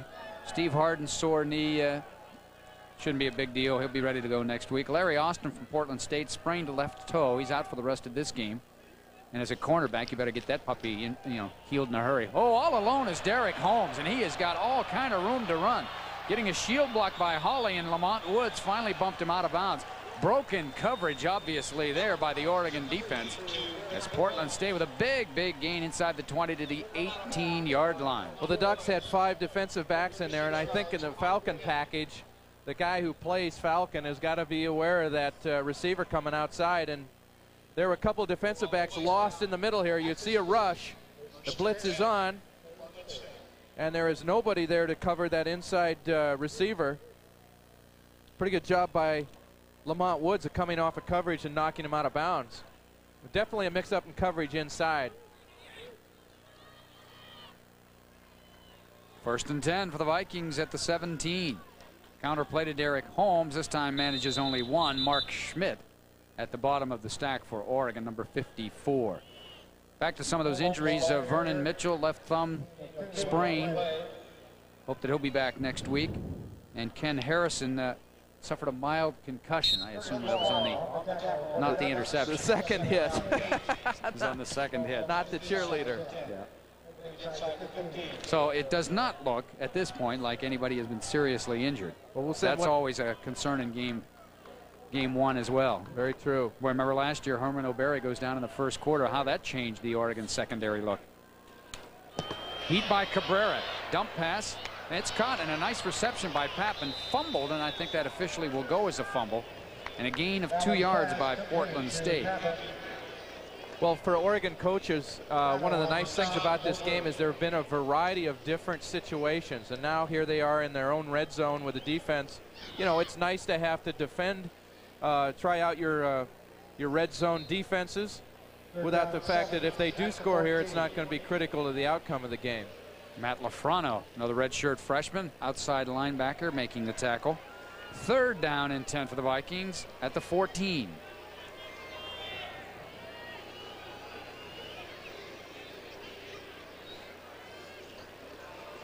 Looking for the quick slant, nothing there. Pass is almost intercepted by Lamont Woods, guarding Kyle Croston. Good heat. Mark Schmidt again along with Reggie Jordan. Well, Schmidt, they like him, and he has had a back injury in fall camp. Had a chance maybe to be a starter, but that back injury put him back a little bit. And they expect good things from him. Nice pressure on the outside. Desmond Bird as well, up the middle, number 99. That's what you need. Usually it takes two people to have pressure. You know, one person's got to force that quarterback to move somewhere where he doesn't want at a time maybe the nose guard's beating his man. Fourth down for Portland State. No field goal attempt here. Allen with time, lost it in the corner of the end zone. Intercepted by Brian Collins at the end zone. And he's got a chance here to make some yards, and he does all the way out to the 25-yard line. Brian Collins with his first career interception.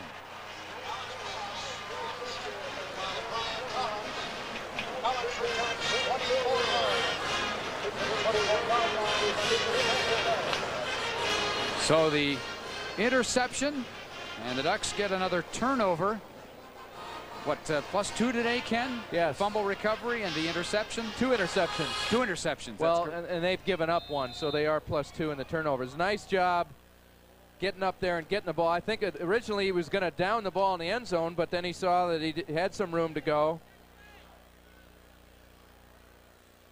Ryan Perry Smith now in at quarterback. And uh, Marcel Stewart getting back to the line of scrimmage, maybe one yard. Travis Beard made the tackle for Portland State. Ryan Perry Smith has uh, waited his turn and has improved in the last two springs to give himself an opportunity to, to play. He's been the holder, so he has gotten game action. It's been a long time since we've seen a third-team quarterback in By you know, in a design. yeah, in a situation where the first two were not laid up in the hospital. Yeah, that's a good point, Ken. Ryan from Granite Bay, California. And now he'll decide to take a timeout. Kyle Strait, the young redshirt freshman from Ashland, in there at center now. Marcel Stewart to the outside, to the 30-yard line, and that's about it. While the Vikings haven't lost their intensity level, you see Jeff Bockert still out there, and Jason Heffley and so forth. They're still playing hard, but it, uh, right now it's tough when you're at the short end of a 45-16 game to continue to play with the same emotion. That's right. Well, uh, you know, spring football uh, for a lot of the Portland State, you know, the people they depend on, they weren't there, and that's uh, it's going to take them a little while. And I think, you know, although this game may end up being a, a somewhat of a shellacking, it's going to be a real good building experience for the coaches there as they get ready for a tough season of their own. Here's Stewart again. Eric Reese, the safety right at the line of scrimmage in a gain of maybe two. So it'll be third down, and now Oregon working on the running game, the clock approaching the eight-minute mark. So it'll be fourth down. And here come the special teams back on. And again, when you look at the special teams for Oregon, a lot of those guys on the, the first unit defense get back in there. You see Chad Cota's back in there. Derek Barnes, one of their pass rushers. So taking the special teams very important this year. Matt James, the lone safety for Portland State because of the injury to Hunden. And we have a whistle. And there was Belden getting it away. Pretty good kick, but they'll call it back. If you're Oregon, Ken, how do you uh, look at what happened here today? You have to be pleased with your quarterback and your wide receivers, I would think. Well, the people you knew were good were good today. You know, all the established stars. I would say that uh, uh, we've got to get that uh, running game a little bit coordinated. I think uh, the offensive line, again, I, I, think they've got talent there. Everyone talks about inexperience. Uh, one game less experience now. I think the defense looks like they got some big play capability. Up front, you know, they're going to be tested as they go along. A lot of interesting situations they've been able to go through today. You know, goal line offense, goal line defense, some kicking game situations. Uh, Belden, now that's the one that Coach Brooks says makes him feel good. That's a boomer. That's, and, and you know the thing about Belden, he is, as you mentioned, a two-step kicker. Several times we saw Tommy Thompson uh, avoid block kicks. You know, you talk to the coaches, they say, hey, sometimes he'd take an extra step in there. I think it's going to be a while before, you know, he gets that, that tip of the ball to turn over and so on, but he's definitely got the leg. And with the kind of coaching attention he's going to get the next couple of weeks, I think uh, that what was a concern preseason with a kicking game will turn out to be uh, a strength for the Ducks. 48 yard punt, no return for Belden. Steve Pappen tries the left side, breaks one tackle. Jeff Branson holding on for dear life, gain of about four. You know, how about Oregon defensively, Ken? They uh, they uh, played pretty well for most of the game. Uh, Portland State really didn't mount uh, anything at all of a running game this afternoon. They were forced to throw the ball early. Your evaluation? Well, I think the key is that if they can force people to throw the football against them this year, you know that that is their strength. I think they got some pass rushers in there. It was got some pass rushing ability, but you know the, being able to stand up against the run, uh, that- I think that's going to end up being a real critical factor, and they've been very good at that today. Little out pattern. I mean, we've belabored this uh, at times, but just everything surrounding the rush is important to Oregon. Their ability to run the football effectively. Uh, maybe they're not going to be a 200-yard a game rushing offense, but they need to be able to run, take pressure off their quarterback, and you know, and do what they have to do. Uh, defensively, last year I think they fell off in the rushing game. I think the coaches felt a little bit of it was intensity. Uh, we're seeing pretty good intensity today. Well, Nick Aliotti, the defensive coordinator, says, I don't know how we're going to do it, but we're going to play unbelievably hard and aggressively. That pass is dropped, incomplete. Former Oregon football player Steve Ward, the intended receiver. Ward started his collegiate career here and then uh, transferred out and eventually ended up at Portland State, young man from Dallas, Oregon. Well, tell us about the new nickname of the uh, Oregon defense. Well, Nick Aliotti says uh, going to call it Gang Green. Gang Green, and, and the reason he's going to call it Gang Green is because it, it doesn't look very good, but it's awful dangerous and it can kill you. Well, as we mentioned earlier, that was written under Todd McKim's picture in his high school annual. Gang Green. No, that's a. I think that's a great description. And should Nick ever get out of coaching, I think he'd make a good sports information director. He could get in marketing. Uh, he's a real salesman. Here comes the counter option play here. Kyle Allen. There's Kenny Wheaton. Remember Kenny Wheaton on offense? Kenny Wheaton scored a touchdown. Now Kenny Wheaton has made a tackle defensively. I was wondering if Nick would be able to get him away from offense and get him a couple uh, repetitions on defense. Well, that's a marvelous testament to a freshman. You know, you're playing both ways. Yeah, as, as I say, Nick is a great salesman, and uh, you know, the extent of Oregon's defense this year may be how much of a sales job he does on them. That hey, guys, we can do this. So number 41 there, Curtis Moore, an inside linebacker. Just another young one thrown into the fray. Allen to throw, has some time. The out pattern to Holmes, and good coverage by Kenny Wheaton. I guess this guy's a pretty good football player. He has a multitude of talents. Well, I, I love the fact that they're letting him play both ways. Um, you know, it's... Uh, Dino Philyaw played both ways. Uh, I think it was last year in a game, had eight snaps. Can't remember who it was against. Might have been... I don't think it was Stanford. Anyway, Philyaw went both ways in one game, but it is very, very rare nowadays.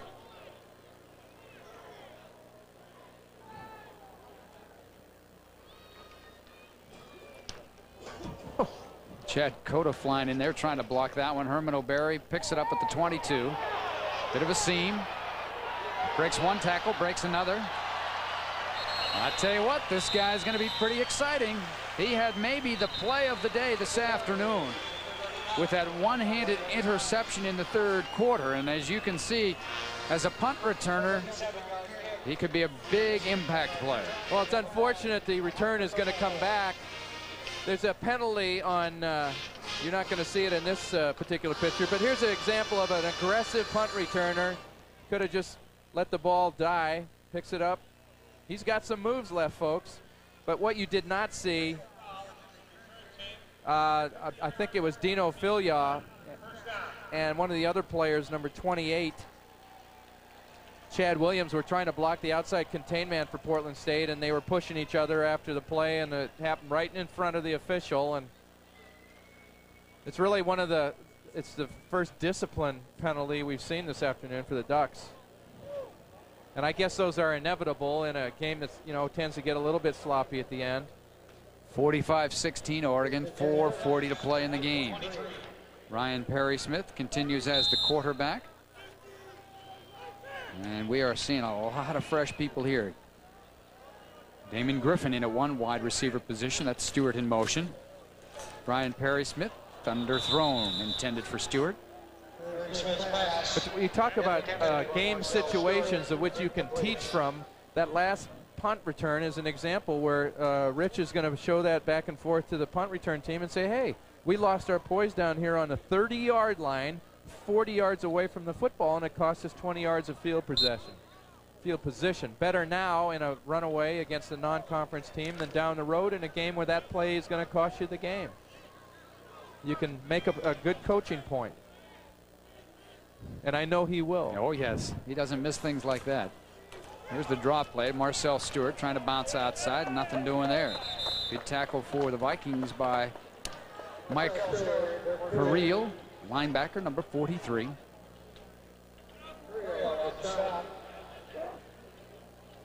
Not much left to be decided here except the final score. And at this point in this kind of a game, you just hope that uh, everybody stays healthy so that both teams can go their separate ways from here. Portland State can get into its serious Division two schedule, try to make a run for its seventh postseason appearance in eight games. And the Ducks, of course, heading over to Hawaii, which is always a tough place to win. Screen pass to Stewart. And there's Carrillo again. Boy, he put a lick on Stewart. Stewart, 10 carries, 44 yards this afternoon. He's got a lot, a lot of playing time. Of all the plays the Ducks have thrown against uh, Portland State, that particular play has been defended the best. They have been right there, and uh, the outside contained people have refused to be fooled. And so another punt for Matt Belden, his last punt, a 48-yarder, his best of the afternoon. Belden with five punts so far this afternoon. Look out. Yep, this one's blocked. And that one just took too much time. And making that block, I believe, was Sam Peoples. Well, one of the problems on the right side of the rush, two men came off the corner. Jeff Sherman bumped one of them, but you're going to see the pressure come from the right side of your screen. Yeah, that was a lack of blocking, not slowness on Belden's part, I believe. Yeah, so Sam Peoples gets credit for the block, and Portland State with a chance maybe to put another score on the board here. In a quarterback for Portland State, Josh Racanelli. He saw a little bit of action in the first half. Dump pass over the middle, in and out of the hands of Steve Pappen, and almost intercepted by Jeff Branson. Well, special teams, Ken, and the last year we saw this uh, on several occasions. The, the Ducks yeah. not holding up protecting their punter. Well, you can see, uh, and actually that's probably an area coming out of this game that I would say be, might be the biggest concern for Coach Brooks. Their, their kickoff coverage has been soft, particularly on the left side. They've given up a couple of returns. Uh, you know, the punter needs more repetitions, but there's just a, a protection breakdown by veteran players, and that's got to bother you a little bit. Reggie Jordan from the blind side. That's a fumble recovered by Portland State, I believe. Reggie Jordan with a fierce rush from the outside. And he's known as a guy that can hold up against the run. They wanted to see if he could rush the passer, and boy, did he ever. Well, you watch this hit. Not only does he separate him from the football, but this is a phys. Ooh. Reminds me of Ernest Jones. Yeah. And we we all can remember how he could ignite a defense and uh, strike terror in the hearts of a quarterback. And you know that's a big one of the concerns up front is can we get that fourth pass rusher? Mm -hmm. And they feel he's got to be the guy. Looked pretty good on that play. Okay, here comes Jordan again, and he's again got the sack. So Reggie Jordan with a big burst here. A couple of sacks. And that'll force Portland State to punt. So the Ducks defense, second teamers, and of course Jordan, the starter, bailing out the special teams. Yeah, that's takes a lot of pressure off of everybody.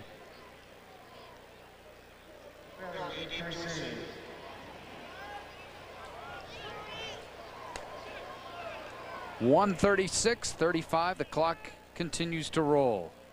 And there's a bad snap, and who knows what'll happen here. Well, it's going to go as a big loss, and Chad Cota makes the tackle. That's got to be uh, about a 40-yard loss. Well, let's just guesstimate at that. 40 yards. Well, the ball ends up 68 yards from where it started. No, 58 yards from where it started after On the, the series. kick. yeah. yeah. Uh, you know, I've seen situations like that where the kicker should get the ball and just kick it out of the end zone and give up the safety.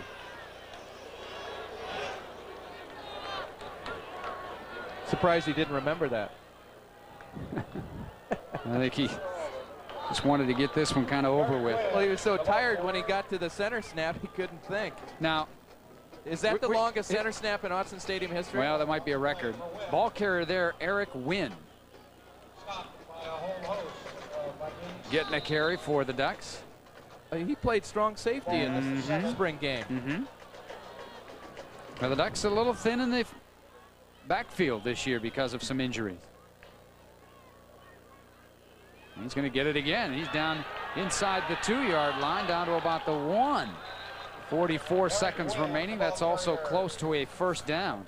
Well, Boy, nothing that these second and third teamers would like more than to punch in a touchdown. That'd be great. And I know a couple of relatives of Eric who are uh, hoping that he gets the ball a third straight shot. Harvey Wynn and Dick Wynn, uh, former Oregon players.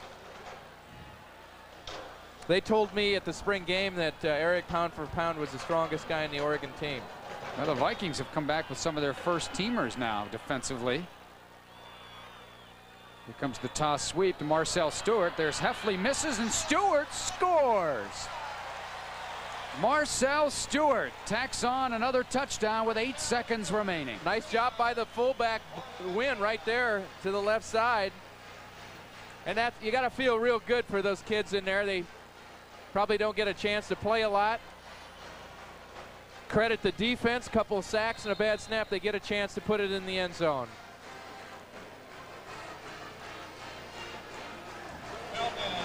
So Belden in to attempt the extra point. Your heart goes out to some of those guys from Portland State that have played so hard, just uh, a little overmatched today, and they give up another score.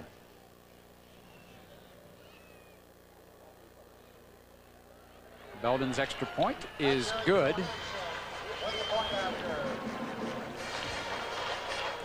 It was Johansson. Oh, Johansson kicked the extra point. Yeah. I'm sorry. Thanks for correcting me. So Eric Johansson, who a week ago at this time was uh, lying on the carpet with what he thought was a broken collarbone, made a very quick recovery. Wasn't broken. X-rays negative, so he gets a chance. The young man from Medford, and he gets a point and gets himself into the Oregon book. Watch Take a the- look at the touchdown. Watch the blocking on the right side of your screen here. The fullback kicks his man out. Stewart hits it up inside. Pretty good job of blocking by those young pups. Marcel Stewart's done some good things for Oregon today in the running back position. See there, the uh, pitch wasn't the, the best, but boy, put the head down. You like to see your tailback going north and south, not east and west, and that's what he did. But you know, here in Eugene, north and south is east That's to west. right, okay. So, well, everyone's going looking at the shadow, saying, "Wait a second, north and south. He should have run right up." Uh... Happy to see Johansson get a chance to kick. You know, Mm-hmm. he's he's been around the program a long time, and to get a chance to get your name in the book, especially coming back from a collarbone.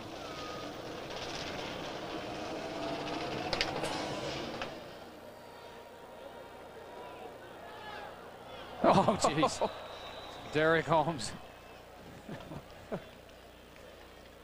well, at this point, it doesn't make a whole lot of difference. The 52 points today by Oregon is the most points that have scored since October 6th of 1990 when they beat Utah State 52 to 7.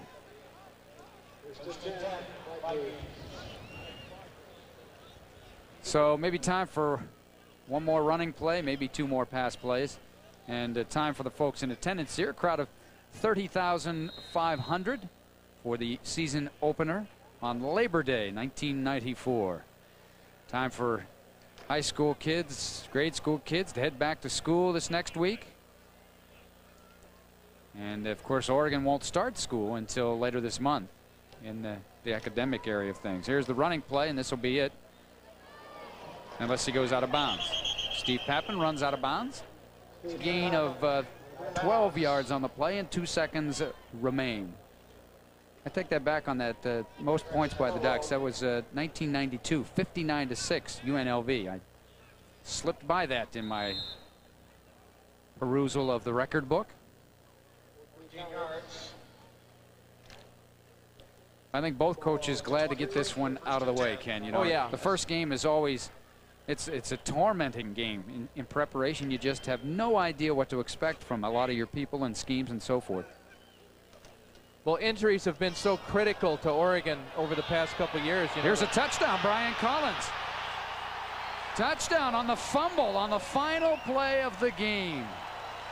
Botched handoff, mad scramble, and there's Brian Collins. Collins with an interception today and a fumble recovery for a touchdown. And that's the final play from scrimmage. I don't know if we're going to have a PAT or not. Here it is again. You see the scramble. Good job by Derek Allen to get rid of the ball carrier. Derek Holmes can't catch Brian Collins, who will hear about that as he romps in for the touchdown. And this one's in the books. Rich Brooks says, uh, or the officials say, no extra point. Let's uh, end it. Good idea. 58-16 the final score. So Rich Brooks now the winningest coach in Oregon football history. Moving ahead of Len Casanova.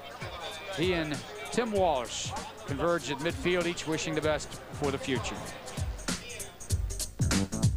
A big day for number 16, Oregon senior quarterback Danny O'Neil. Four touchdown passes as the Oregon Ducks rout the Portland State Vikings 58-16. Well, Ken, you look at today's game, and Oregon took control in the first quarter, scoring on three straight possessions. Danny O'Neil was sharp today. He didn't have the biggest numbers in the world. He didn't have to, but he got the team in the end zone. And the Ducks did a lot of good things, enough good things that they have to feel good about themselves. And then there were enough things that the you know the coaches can criticize in a victory uh, situation. Well, I think there's a lot of good things there, and uh, a lot of things that they had to work on to be a good team. You see the statistics clearly uh, in the favor of the Ducks. Uh, rushing yardage of uh, uh, Portland State. that's significant. you know, the thing is, I think Portland State's got a pretty good football team. Yeah. It's going to take them a game or two to get their all their pistons running together. Oregon, they've got work to do, but right now I'd say they're in pretty good position. Yeah, they definitely did a lot of the things they wanted to today. Third down conversions pretty good. Uh, first downs 24, and the big turnover. You know, the five turnovers by Portland State. A couple of them uh, directly leading two scores, and one was a score on Brian Collins's fumble recovery to end the ball game. And the turnovers coming as a result of pressure. So that's one thing they were unable to do last year. Uh, this is a new year.